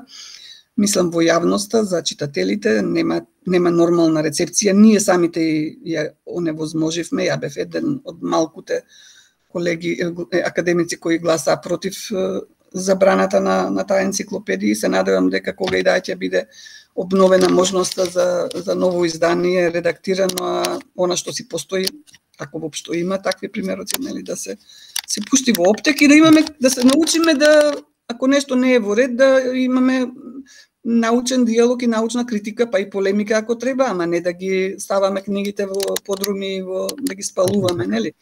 Да. Инаку последниве година-две на релација Македонија и Бугарија се случуваат еден вид на интензивни преговори, поточно тензични, односно особено од бугарската страна. Дали наметнувањето на несфатливиот дискус од страна на Бугарија може да се нарече дека е хегемонистички, вие говоревте нешто за тоа, и кои се вашите предвидувања, како ќе заврши сето тоа, имајќи предвид дека за сега Бугарија добива премолчена подршка од страна на бриселските бюрократи, но нажалост во прилог на тоа оди и свитканата кичма на македонскиот висок државен врв. Па јас мислам дека никако не сме да добие поддршка од нашиот политички врв и од нашите научници, да кажеме, интелектуалци и така натаму, кои се обидуваат нели да толерираат одредени барања, а, како што кажав, така, посметрајќи ги нерамнодушно, не мислејќи што потоа, што ќе се случи потоа ако ние се откажеме од автономната наша историја која има допирни точки со сите европски, а не само народи од регионот, меѓутоа си е македонска И значи ако ние го направиме тоа, тогава исто како да сме се откажале, откажувајќи се од историјата, исто како да сме се откажале од нашето право на сувереност, на суверена држава и на суверена нација. Ќе ги изгубиме од ликите на нација. А ако не сме нација, ќе бидеме малцинство во некоја држава. Ме разбирате, тоа е мислам погубна политика оти оти е, културната автономија значи на некој начин и право дава легитимитет на постоење на државата и на и на и на нацијата. Сега јас тука жалам што ние денес поради тоа што ние не сме во типична смисла на зборот демократски конструирана држава. Ние сме држава која која функционира на принципот на мултиетничка демократија. И тука имаме дадено неколку закони и уставни права кои овозможуваат да кажеме, малцински групи да надгласат мнозинството. Демократијата по дефиниција е нели владење на мнозинството. Ама ние, бидејќи имаме партии на етнички принцип, и се е поставено на етнички принцип, многу се е, фрагментиравме, се вика тоа, се расцепкавме и затоа сме лесно подложен плен за, за да бидеме владеени од страна, да бидеме раскарани и така натаму. Значи, поентата ми беше дека ние тешко доаѓаме до дефинирање на нашата кауза национална. Ние, освен евроатлански интеграции кои доскоро не поврзува, ние немаме нешто за кое ќе ги поврзува сите различни етницитети, различни партии и така натаму. Па дури имаме внатре македонски судир околу тоа прашање. Значи, ако не успееме подитно да да најдеме да направиме договор за таква за таква уставно национална државна во таа смисла сите да се препознаеме во, во таа кауза, во тој државен национален интерес, тогаш лесно ќе самите самите меѓу себе ќе се како да кажам ќе си направиме обструкции кои ќе бидат на штета на македонскиот народ, оти очигледно дека се оди во таа насока да биде се на штета на македонците. Така. Господја Ќилавкова, премиерот Заев, но и Македонско-Бугарската мешовита комисија, која разговара за историските факти од поодамна, изјави дека комисиите се договорени за пет историски личности и тоа за Свети Кирил и Методи, Свети Климент, Свети Наум и Цар Самоил, а сега Бугарија преку Бугарската комисија цврсто инсистира да го присвои Гоце Делчев, зашто и спомнавте предходно, но да дополниме. Како ќе ја прокоментирате таа нивна небулоза? Може ли еден револуционер во овој случај Гоце Делчев, кој целиот негов живот и идеали ги посветил на Македонија и македонската автономија и борба за слобода на Македонија и македонскиот народ да биде бугари? Знаете како треба да се поучиме и од други цивилизирани народи кои се помиролюбиви, барем сега водат така такви политики кои кои водат кон кон подем на државите и на регионот, е на пример нордиските. народи, данскиот, шведскиот, норвешкиот, имаат споделена историја, биле и во заеднички држави, имале и заеднички допирни јазични точки, има до ден денес, ама никој не си дава право на другата држава, на другиот народ и за другиот јазик да ги негира, да ги оспорува или да им прави било каква пречка за некаква европска или било каква друга меѓународна интеграција. Просто тоа е, е вон од некоја цивилизацијска норма. И тоа треба да го сватат нашите, дека, дека ниту една фигура од, не да речеме, словенската историја, Значи на словенските народи не може да се присвои само од еден народ. Грешка е што бугарите велат, денот нели го прогласија 24 мај за ден на бугарскиот јазик, бугарската култура и така натаму и така натаму. Они можат да си го толкуваат и како ден за, на, на Бугарија. Меѓутоа, Кирил и Методи се припаѓаат на сите словенски народи, припаѓаат на Европа и на светот, они се дел од едно светско цивилизацијско и, и јазично и културно наследство.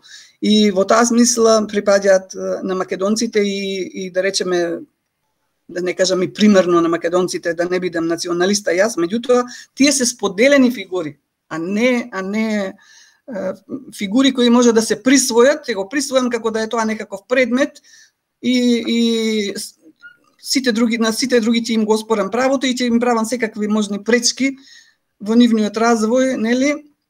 со задни намери. Просто тоа не, не е цивилизирано и не води на, на добро. А мислам дека кажав за Гоце Делчев, Гоце Делчев е апсолутно што и да бил по граѓанство тогаш, веројатно бил поданик на Турската империја. Може би со оглед на школувањето говорел бугарски јазик, ама говорел и македонски, ама тој е по, по целата своја суштина, по своето дело револуционерно борба, мисла, меморија во македонската народна култура е запамтен како македонски борец, не како бугарски, он не се борел за Бугарија и за бугарската слобода. Значи абсурдно е да се дискутира за тоа. Јас јас би ги напуштила таквите преговори, мислам апсолутно се штетни, за ниту една историска фигура нема што да се подпишува било каков договор, науката и слободната мисла и научна и писателска и човечка е, е доведена во прашање, таа е слободна и треба да допуштиме со аргументи, со векови унапред, нели, да си ги проучуваме историските факти и личности и да соработуваме во таа смисла, ама не и да да тоа биде камен на спрепнување и неискушение сега на нашите односи, затоа што некој таму и тоа полуписмени политичари од Бугарија или од Македонија одлучиле така да биде. Мислам, просто тоа не се не може да се стави адакта со некаква политичка или било каква спогодба. Тоа треба да го пуштиме слободно, слободниот и цивилизиран ум со аргументи да си проучува, ама никој не треба да се чувствува повреден ако ако идентитетот има повеќе аспекти. Денес особено живееме во свет во кој што вие знаете, мислам, речи си некои идентитети да не се препознаваат. Ние треба да се почитуваме и секој да ја почитува, како да кажам, да го почитува идентитетот на другиот и правото на другиот да си има своја перспектива на гледање, твоја точка на гледање. Така што, така што нашите политичари прават, влечат погрешни потези.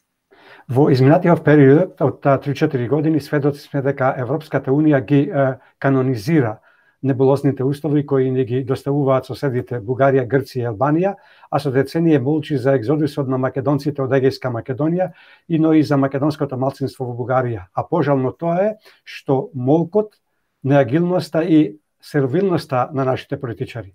Кој е вашиот став за ваквите двојни стандарди на цивилизираната Европска Унија? Каде води се тоа ова што им и што им препорачувате на македонските политичари пред се на они од власта? Па мислам дека треба да се бара некоја алтернатива. Мислам дека таа двојна политика, односно тие двојни стандарди почнаа уште како што кажав со приемот на Македонија под име на референца, а не уставно име. Преспанскиот договор со кого се подпишува? Од едната страна ја имате Хеленската република, од друга страна кој кого го имате? Некоја резолуција која се реферира на БРМ на Фирум. Значи, то се нелегални договори и чинови и кои покажуваат двојна политика, двојни стандарди. Зошто тоа го прави меѓународната знае заедница? Она знае, но во секој случај како да се потикнуваат конфликтни односи меѓу балканските народи, меѓу нас македонскиот народ и соседите, наместо да имаме супер соседни односи бидејќи имаме допирни точки во минатото и со грците и со бугарите, на пример, се поттикна одреден конфликтна матрица, еве се никогаш немало таков отпор ни према бугарите, ни према грците во, во македонската јавна свест во медиумите и меѓу луѓето, како сега, кога, кога директно некој вулгарно и прагматично ги негира. Значи, Европска Унија, мислам дека исто така се однесува, како да кажам, спротивно на прокламираните конвенции на Обединети нации, на УНЕСКО и на Виенска конвенција и на Европска унија. Просто они немаат право да влегуваат во било каков аспект на идентитетот. Напросто, а Македонија треба да каже, ако го поставувате како услов тоа што е безценето, за некаква цена која е, нели, ниска многу, односно никаква, не, не, нема цена за македонскиот културен идентитет и сувереност, тогаш ние се повлекуваме, не мора сега да да продолжи да добиеме датуми за почеток на преговори. преговори. Тоа е како да ви кажам, тоа е еден вид абстракција. Ќе бидеме подобри, ќе работиме, економски ќе закрепнеме, светот е отворен, светот е широко полена, нуди широко полена соработка, така што мислам дека дека не смееме да подклекнеме на вакви политики кои во основа се го поддржуваат регионалниот локален хегемонизам и империализам, апсолутно. Господја Ќулавкова, како академик, како гледате на фактот што владата на Заев даде акредитација за отворање на Бугарски универзитет во Македонија со седиште во Свети Николи, кој ќе го носи истото име со македонскиот најстар универзитет Свети Кирил и Методи. И кога сме кај браќата Кирил и Методи, Ако сакате да дополните нешто повеќе за одлуката на бугарските власти 24 мај да го прогласат за ден на бугарската азбука, односно бугарската писменост. Иако може побрзо. Добро.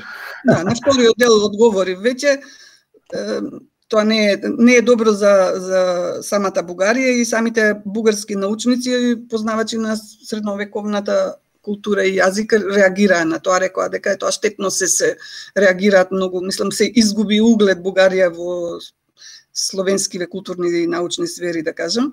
Но секаква одлука треба да биде втемелена врз принцип на реципроцитет.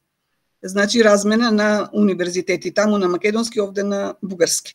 А второ, мислам дека ние живееме на толку мал простор, подобро е да се направи нели железница и добри патишта и можат и бугарите доаѓаат да студираат во Македонија и македонци да одат да студираат на нивните универзитети. Македонија има премногу приватни универзитети, па доволно и, и државни. Ние кога имавме еден универзитет бевме подобри, не велам дека треба да биде така, но треба да се извлече некаква поука од оваа инфлација на, на, на секакви универзитети со секакви програми и така натаму. Тоа само покажува дека дека нашиот сегашен премиер на Северна Македонија намерно го користам тоа име, оти тој, нели, се гордее со тоа, од што би требало да се срами. Значи, тој со тоа покажува дека на некој начин сигнализира одобрување на бугарските политики и затоа ја губи на некој начин поддршката целосно од македонците, меѓутоа и нанесува и нанесува голема штета на на Македонија со тоа. Имам уште две прашања, ако може порано, а побрго да а, ги завршиме и побрзо. Власта со засилено темпо галопира да го спроведе договорот од Нивици. Од пред некој ден започна со издавање и на лични документи со наметнатото ново име. Најави и засилено темпо за промена на називите на институциите и други субјекти, така да за кратко време према планот на заевата влада, секаде каде што стои македонско, македонска ќе треба да стои северна. А тоа ќе значи дека Ману ќе постане Нану ќе успеете ли барем вие од Ману каде што се собрани на големите мозоци да му се спротиставите или силном прилика ќе подклекнете на притисоците? Значи прво мислам дека треба веднаш да се донесе одлука за сторнирање, за запирање на, на било какви промени кои произлегуваат од предспанскиот договор, бидејќи Грција воопшто не го почитувани оној минимум што го има преземено. Второ, затоа што ние кога го подпишувавме тој договор, односно нашите политичари, не мислеа на последиците. Последиците се очигледни и директно одираат на идентитетот на македонците. Повеќе нема, според нашиот устав, а он е најважен женак за определување на идентитетот, оти се заснова врз самоопределување. Нашиот во случајов на Северна Македонија се заснова на, на, на фалсифицирани резултати од референдумот од пред три години веќе, нели? И значи се оди во насока на тоа да се негира, да не претворат во северно македонци, односно можно е во со тек на време ако со Бугарија нешто се случи и во нешто друго, нели да не да не однесат во некој уште поголем ќорсокак, во Ману сега за сега не се случува ништо и сметам дека не смее да се прифати тоа, треба ние да бидеме како да кажем, да поддржиме оваа идеја, да се едноставно запре тој процес со преспанскиот договор за да се создадат услови да се укине затоа што е нелегитимен, е склучен меѓу меѓу една суверена држава и оваа другава која за која чисто идентитет не е не е прецизно кажан, како што налага меѓународното право, за тоа зборуваат правници, може со нив да разговарате. Барајки информации за денешниот разговор, да наидовме и на една ваша студија за топонимите која е објавена и на англиски јазик. Знаеме дека топонимите во Грција и Бугарија се променети, а тоа е исто така направено и во Македонија, некаде пред 17 години, поточно во 2004 година. Македонската влада преку подпишувањето на договори покрај се друго ги прифати новите топоними. Академик Ќулавкова, може ли накратко само со неколку зборови да се изјаснете и на оваа тема, но со поголем акцент на топонимите во Македонија? Значи, никако не смееше да дојде до тоа да се променат топонимите на начин на кој што тоа се направи во македонскиот парламент со превод од македонски на на албански. Македонските топоними ги има по целиот Балкан, мислам и во Грција ги има, и во Албанија, и во Бугарија. И тие се сведоци за нашиот историски развој, за нашето постоење и според сите меѓународни прописи, тоа по ним може само да го напишете на друго писмо, значи да го транслитерирате буква, буква по буква од македонска кирилица, на пример на на грчка кирилица или на албанска латиница ма, или на англиска латиница, ама никако никако да се преведуваат. И тука е направено исто, мислам, тоа се етноцидни политики, значи културоцидни политики. Не не правите геноцид, ама правите го уништувате културниот идентитет, со тоа и идентитетот на народот и како последица на сето тоа доаѓа до општо незадоволство, депресија и се зголемува миграцијата и така. Значи, сметам дека дека има можност по 2004 година да кажеме кога имаше големо мнозинство во ВМРО да го смени овој закон да се огради и така натаму. Меѓутоа никој тоа не го направи. Едноставно едноставно има изгледа, изгледа некои виши сили кои ете постојано ги поддржуваат штетните одлуки и закони и промени на уставот. Господја Ќулавкова, ви благодариме за учеството во Македонски корени. Имајте си убав викенд, останете ни во добро здравје, пријатно до слушање и секако довидување овде на Македонски корени. И јас ви пожелувам и вам и на сите македонци во Австралија секој е добро. Пријатно и довидување, остануваме во контакт. Довидување.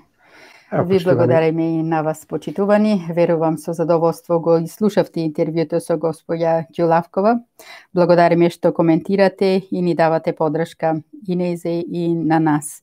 Како и секогаш ни причинува огромно задоволство. Останете со нас се до крајот и на ова дружење. Ни остана уште 16 минути. Останете со Јони Бети и проследете го остатокот од агендата на македонски корени. А на македонски корени ќе ви ја донесеме убавата песна и ние сме деца на мајка Македонија и Васка Илиева за сите вас. Yes,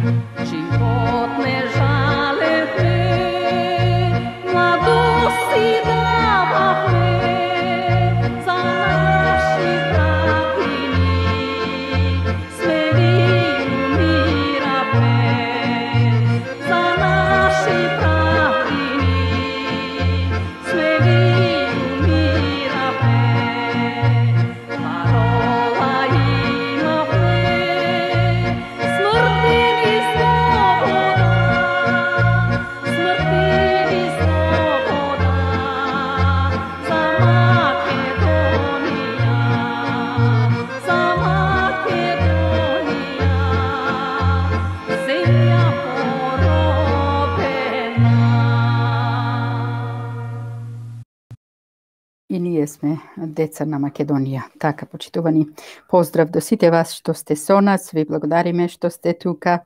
Стрпливо не пратите поздрав до Драга, до Мик, до Неда, до Павли и Лена, до Игор, до Марија, до Мише, до Тања, до Снежанка, до Андонова, фамилии Тања, здраве до сите вас, Бранко Гранески, Иван Митревски, до Џон Котевски, Крчановски Боби е со нас, до Решков, Владен Стаменков. Так.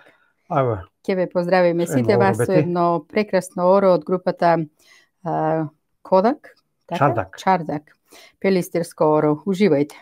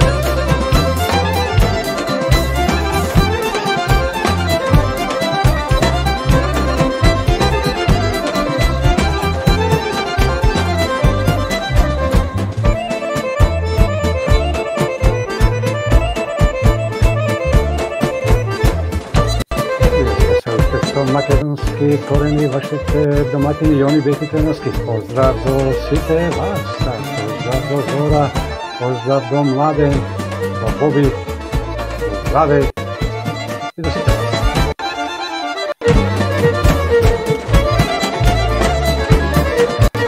Поздрав до Били и до сите во Ферфилд.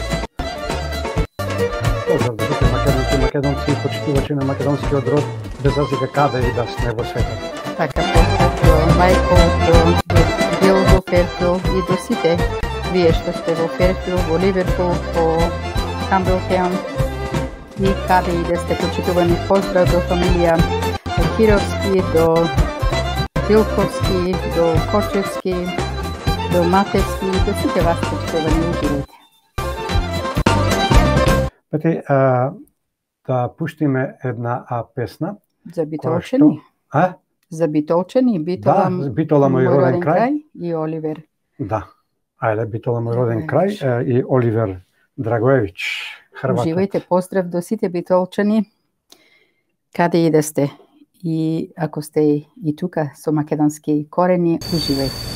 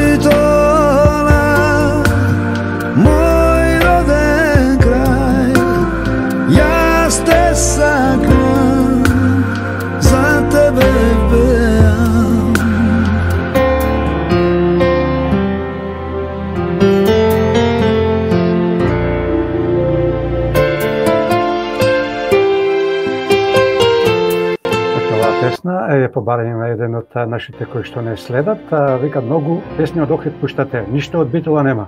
Па ево, За денес за а, Битол- за Битол мој Битолчани. крај. Најдобро ти Уживајте. света. Поздрав.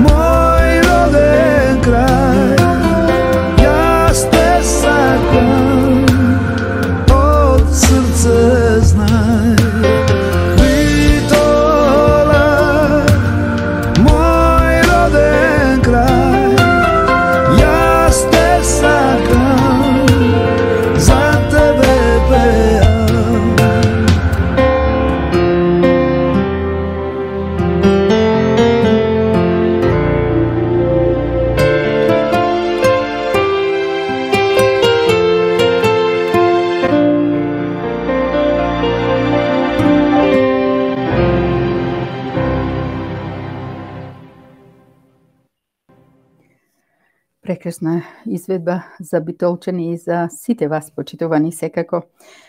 Поздрав до сите. Ке ве поздравиме со песна од Благојче Стојановски. Чудна жена беше Вера. Пред крајот на емисијава.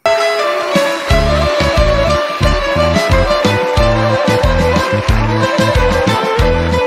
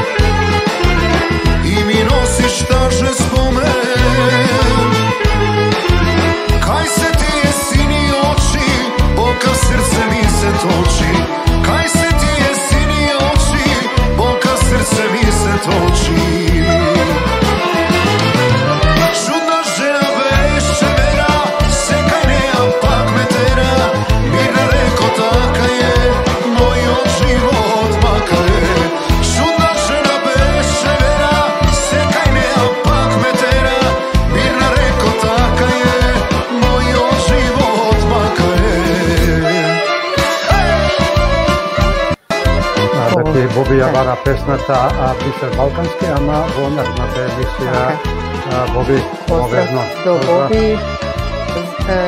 Ќе дослушате чудна жена беше Вера, ќе слушате срцето мое тука чука и тука некаде чука и времето да ја заокружиме емисијава на македонски корени ни причини задоволство што се дружевме и денес почитувани за крај на сите вас каде и да сте, да ви посакаме многу здравје, многу убавини, да ве окружуваат, да ве чува и заштитува. Мокта на од наш Бог и неговата дланка, чувајте се и вие и почитувајте се помеѓу себе. Бидете ни заштитени од делта мутацијата што демне е насекаде. Бидете со нас повторно наредната сабота во истото време од 18 до 20 часот. Секако слушајте ни и во среда на утро од 9 до 11 часот со македонска лоза.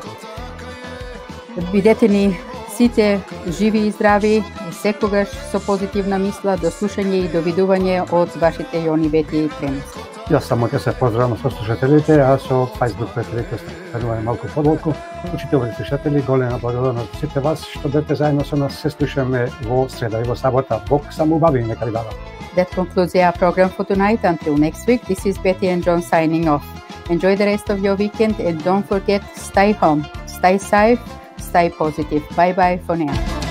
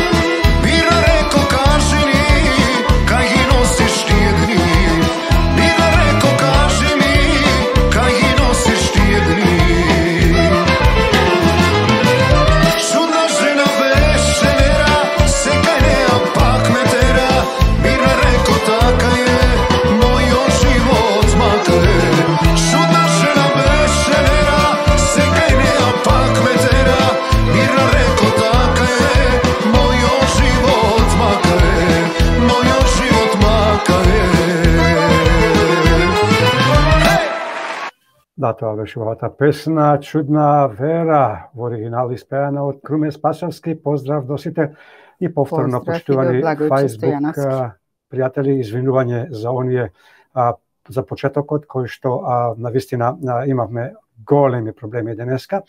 А, не знаеме што стана, што се случи, зошто е, оставаме на Бога а, да се расправа со тоа а му благодариме од друга страна на Бога што повторно не врати во а, етер, во емисијата. Вербата во Бога секојаш е нов си успех, затоа секојаш верувајте во Бога, само Бог ќе ве однесе на правиот пат. И ево на вената песна што Бети вија најави така. срцето мое тука чука. Така, пред да го слушнете Никола Зачески и срцето мое тука чука, да подсетиме традиционалната културна манифестација Галичка свадба веќе се одржува од вчера 16 до утре 18 јули по пауза од една година поради пандемијата COVID-19. И овој пат манифестацијата ќе се одржи во организација на местната заедница Галичник, Покровител како и изминатите години е председателот на Република Македонија Стево Пендаровски и Министерството за култура. Утре на манифестацијата Галичка свадба по старите галички традиционални обичаи со векови пренесувани од генерации на генерации ќе се венчаат младенците Катерина Илиевска и Филип Бундевски. Им посакуваме многу среќа, да мине се во ред, Ако сте во Македонија, ако сте близу до Галичник, посетете ги. Да се вечни и од Бога благословени. Еве и најавената песна Срцето мое тука чука. Владимир Папуцовски бара секој ден програма да имаме. Ви благодариме на, на повлекувањето на потегот. Ке размислиме за тоа. И покрај тоа што ни прават обструкции, не е исклучена можноста да се гледаме секој ден со сите вас, доколку има поголема побарувачка и повеќе мина и тоа ќе го направиме. И велам, без вас ништо не правиме и без Бога пред се ќе одиме со срцето мое тука Чукабет и така беше не. Така, поздрав до Владимир, поздрав до Ило Велов, до Добрица, фамилија Талевски, до Татјана, фамилија Трпчевски. Поздрав Татјана, ви благодариме што сте тука, до Коле, до Цане, до сите вас почитувани. Еве ја најавената песна, уживајте. А уште малку ќе оставиме со вас. Имаме уште... Да го оправдаме почетокот. Да, да го оправдаме почетокот. Не знаме што е. Ако знаете што е, зошто беше, кажете, да знаеме и ние.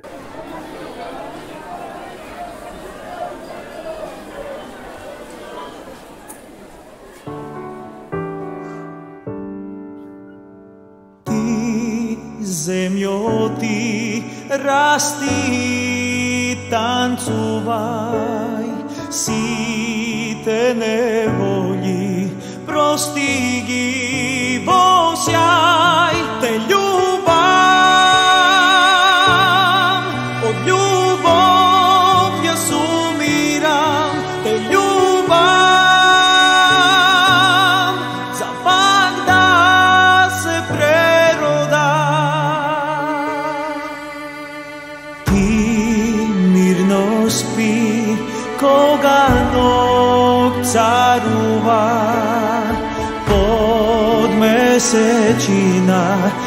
тивко ти пеам, те љубам,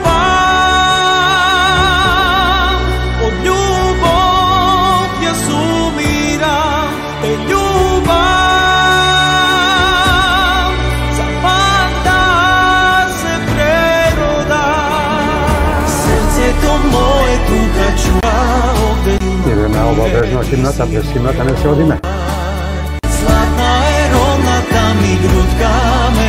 to melodiji ne izgleda. Srce to moje tuga čuka Ovde silno pije Ti si moj odar. Zlatna je rodna tamnih grutka Milno što me dušna Zada porasna Ti zemljo ti rasti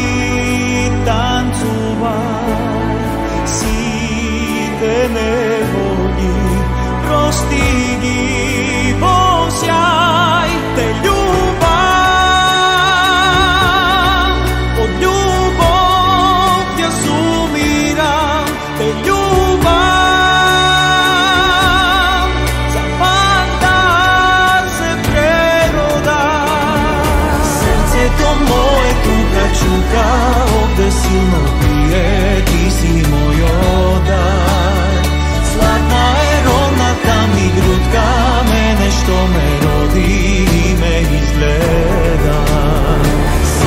to moje tuga čuka Ovde silno bije, ti si moj odaj Zlatna je rodna ta mi Milno što me dušna zada poraj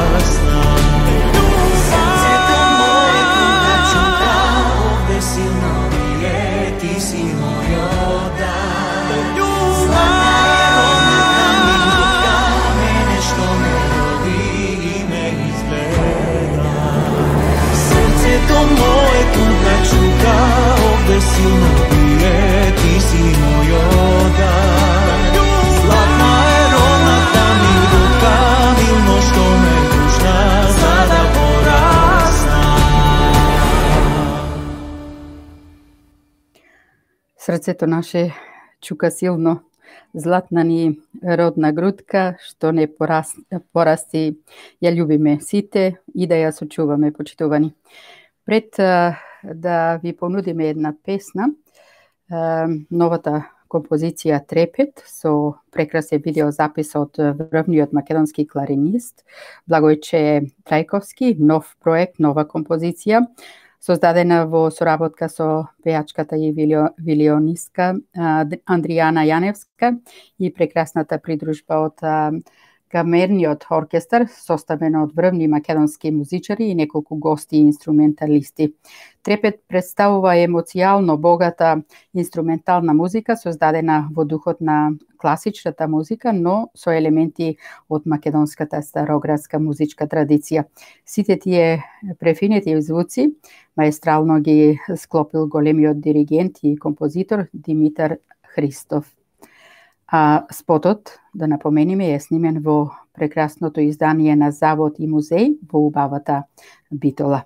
Така да, во наредниве минути уживајте со новата композиција Трепет од Благојче Трајковски. И тимот.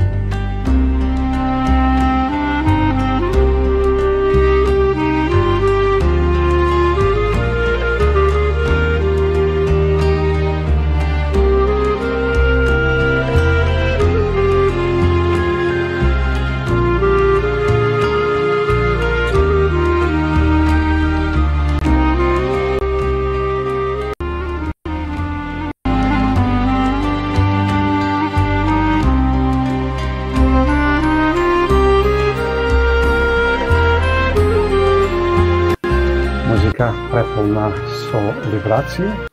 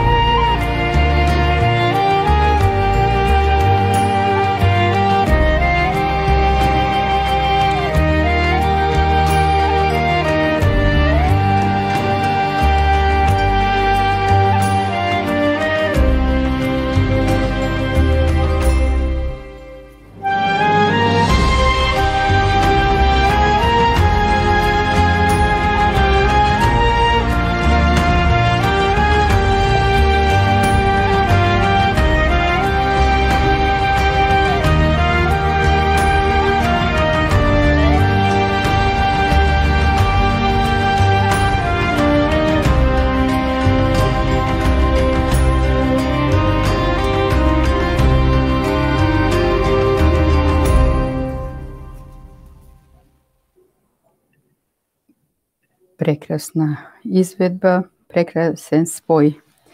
Верувам уживавте почитувани со ова ново стание. Пред да се одјавиме, сакам да упатам и поздрав до фамилија Ангеловски од Мелбурн, до Климе. Верувам сте добро сите вие во Мелбурн. Климе и многу од нашите гледачи и подржувачи на македонски корени побараа вечерва да слушнат избор песни зашто верувам во наредниве емисии ќе им ги исполниме желбите. Така, поздрав до Климе, Климе ја побара и с Богом мајко. За Климе и неговата фамилија ќе ја слуша оваа песна ако биде со нас наредната емисија. Поздрав до нив, поздрав до сите вас, почитувани.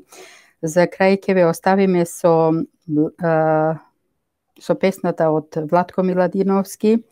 Блазе тебе, Митро.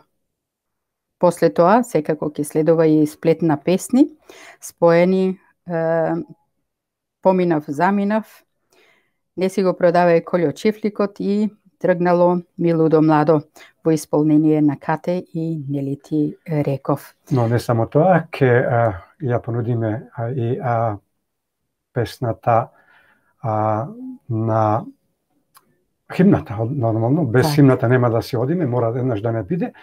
И со тоа ќе дојде најверојатно и крајот а, на денешнава другарување. Така, почитувани задоволство причини секако и оваа дружиња со сите вас. Желба ни е да биде така и наредната сабота во истото време, на истото место, сите повторно да се видиме и чуеме без никакви а, препреки. Бидете ни здрави, живи и многу расположени, пријатно до слушање и скоро довидување од вашите Јони Бети Треновски. Секој е добро на сите вас што бевте и денес дел од македонски корени.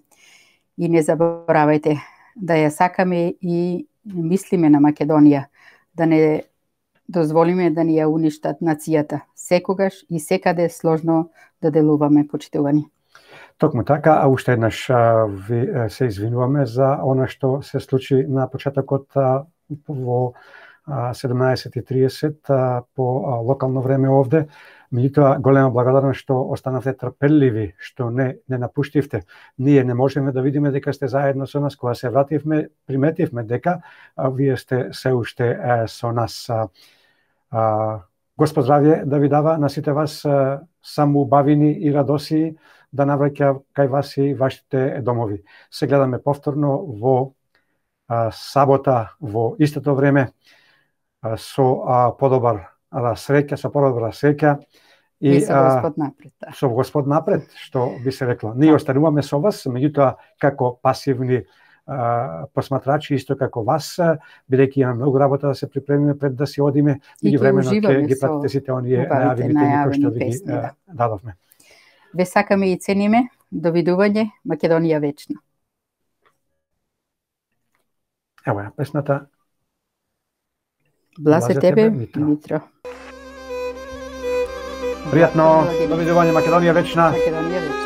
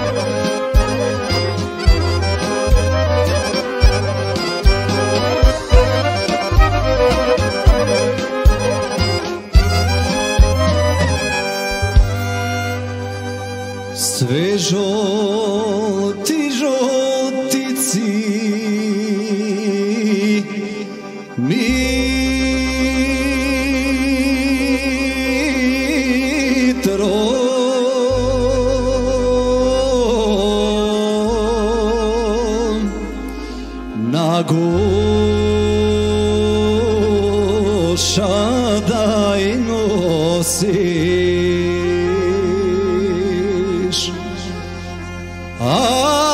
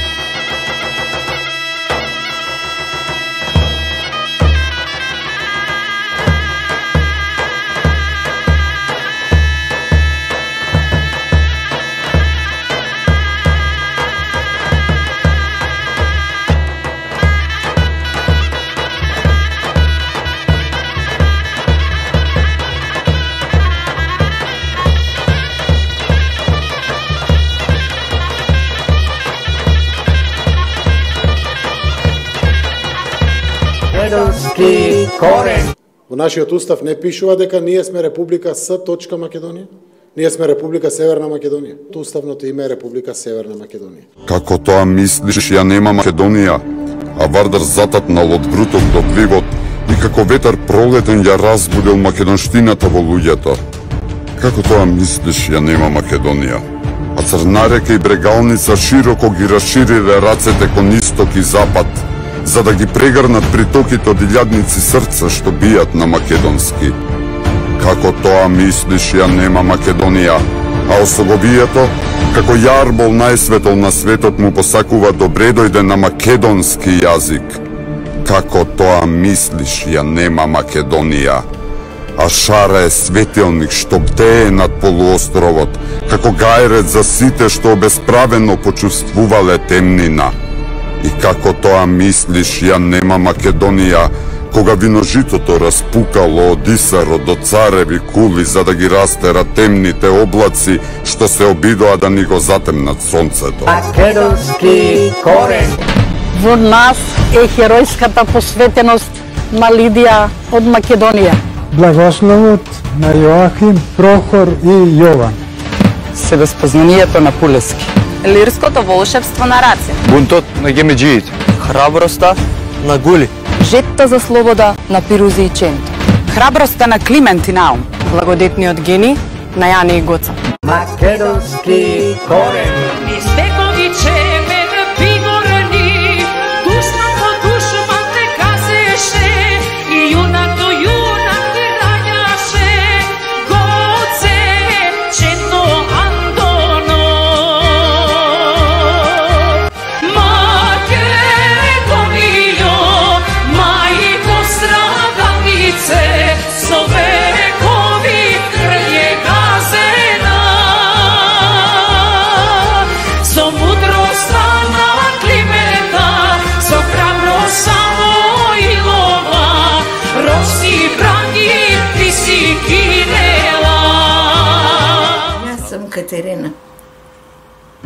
Најмалата внука на Гоце Делчев.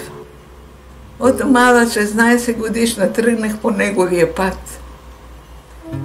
Следех секој негове, негов чекор, а да знаат македонците, од и Гоце и фамилијата му се оддадени само на Македонија. Гоце ќе се обрне во гробо ако да дознае. Затоа чувајте го чисто името. Немој некој да го пресвојава та било на тоа, било на оне.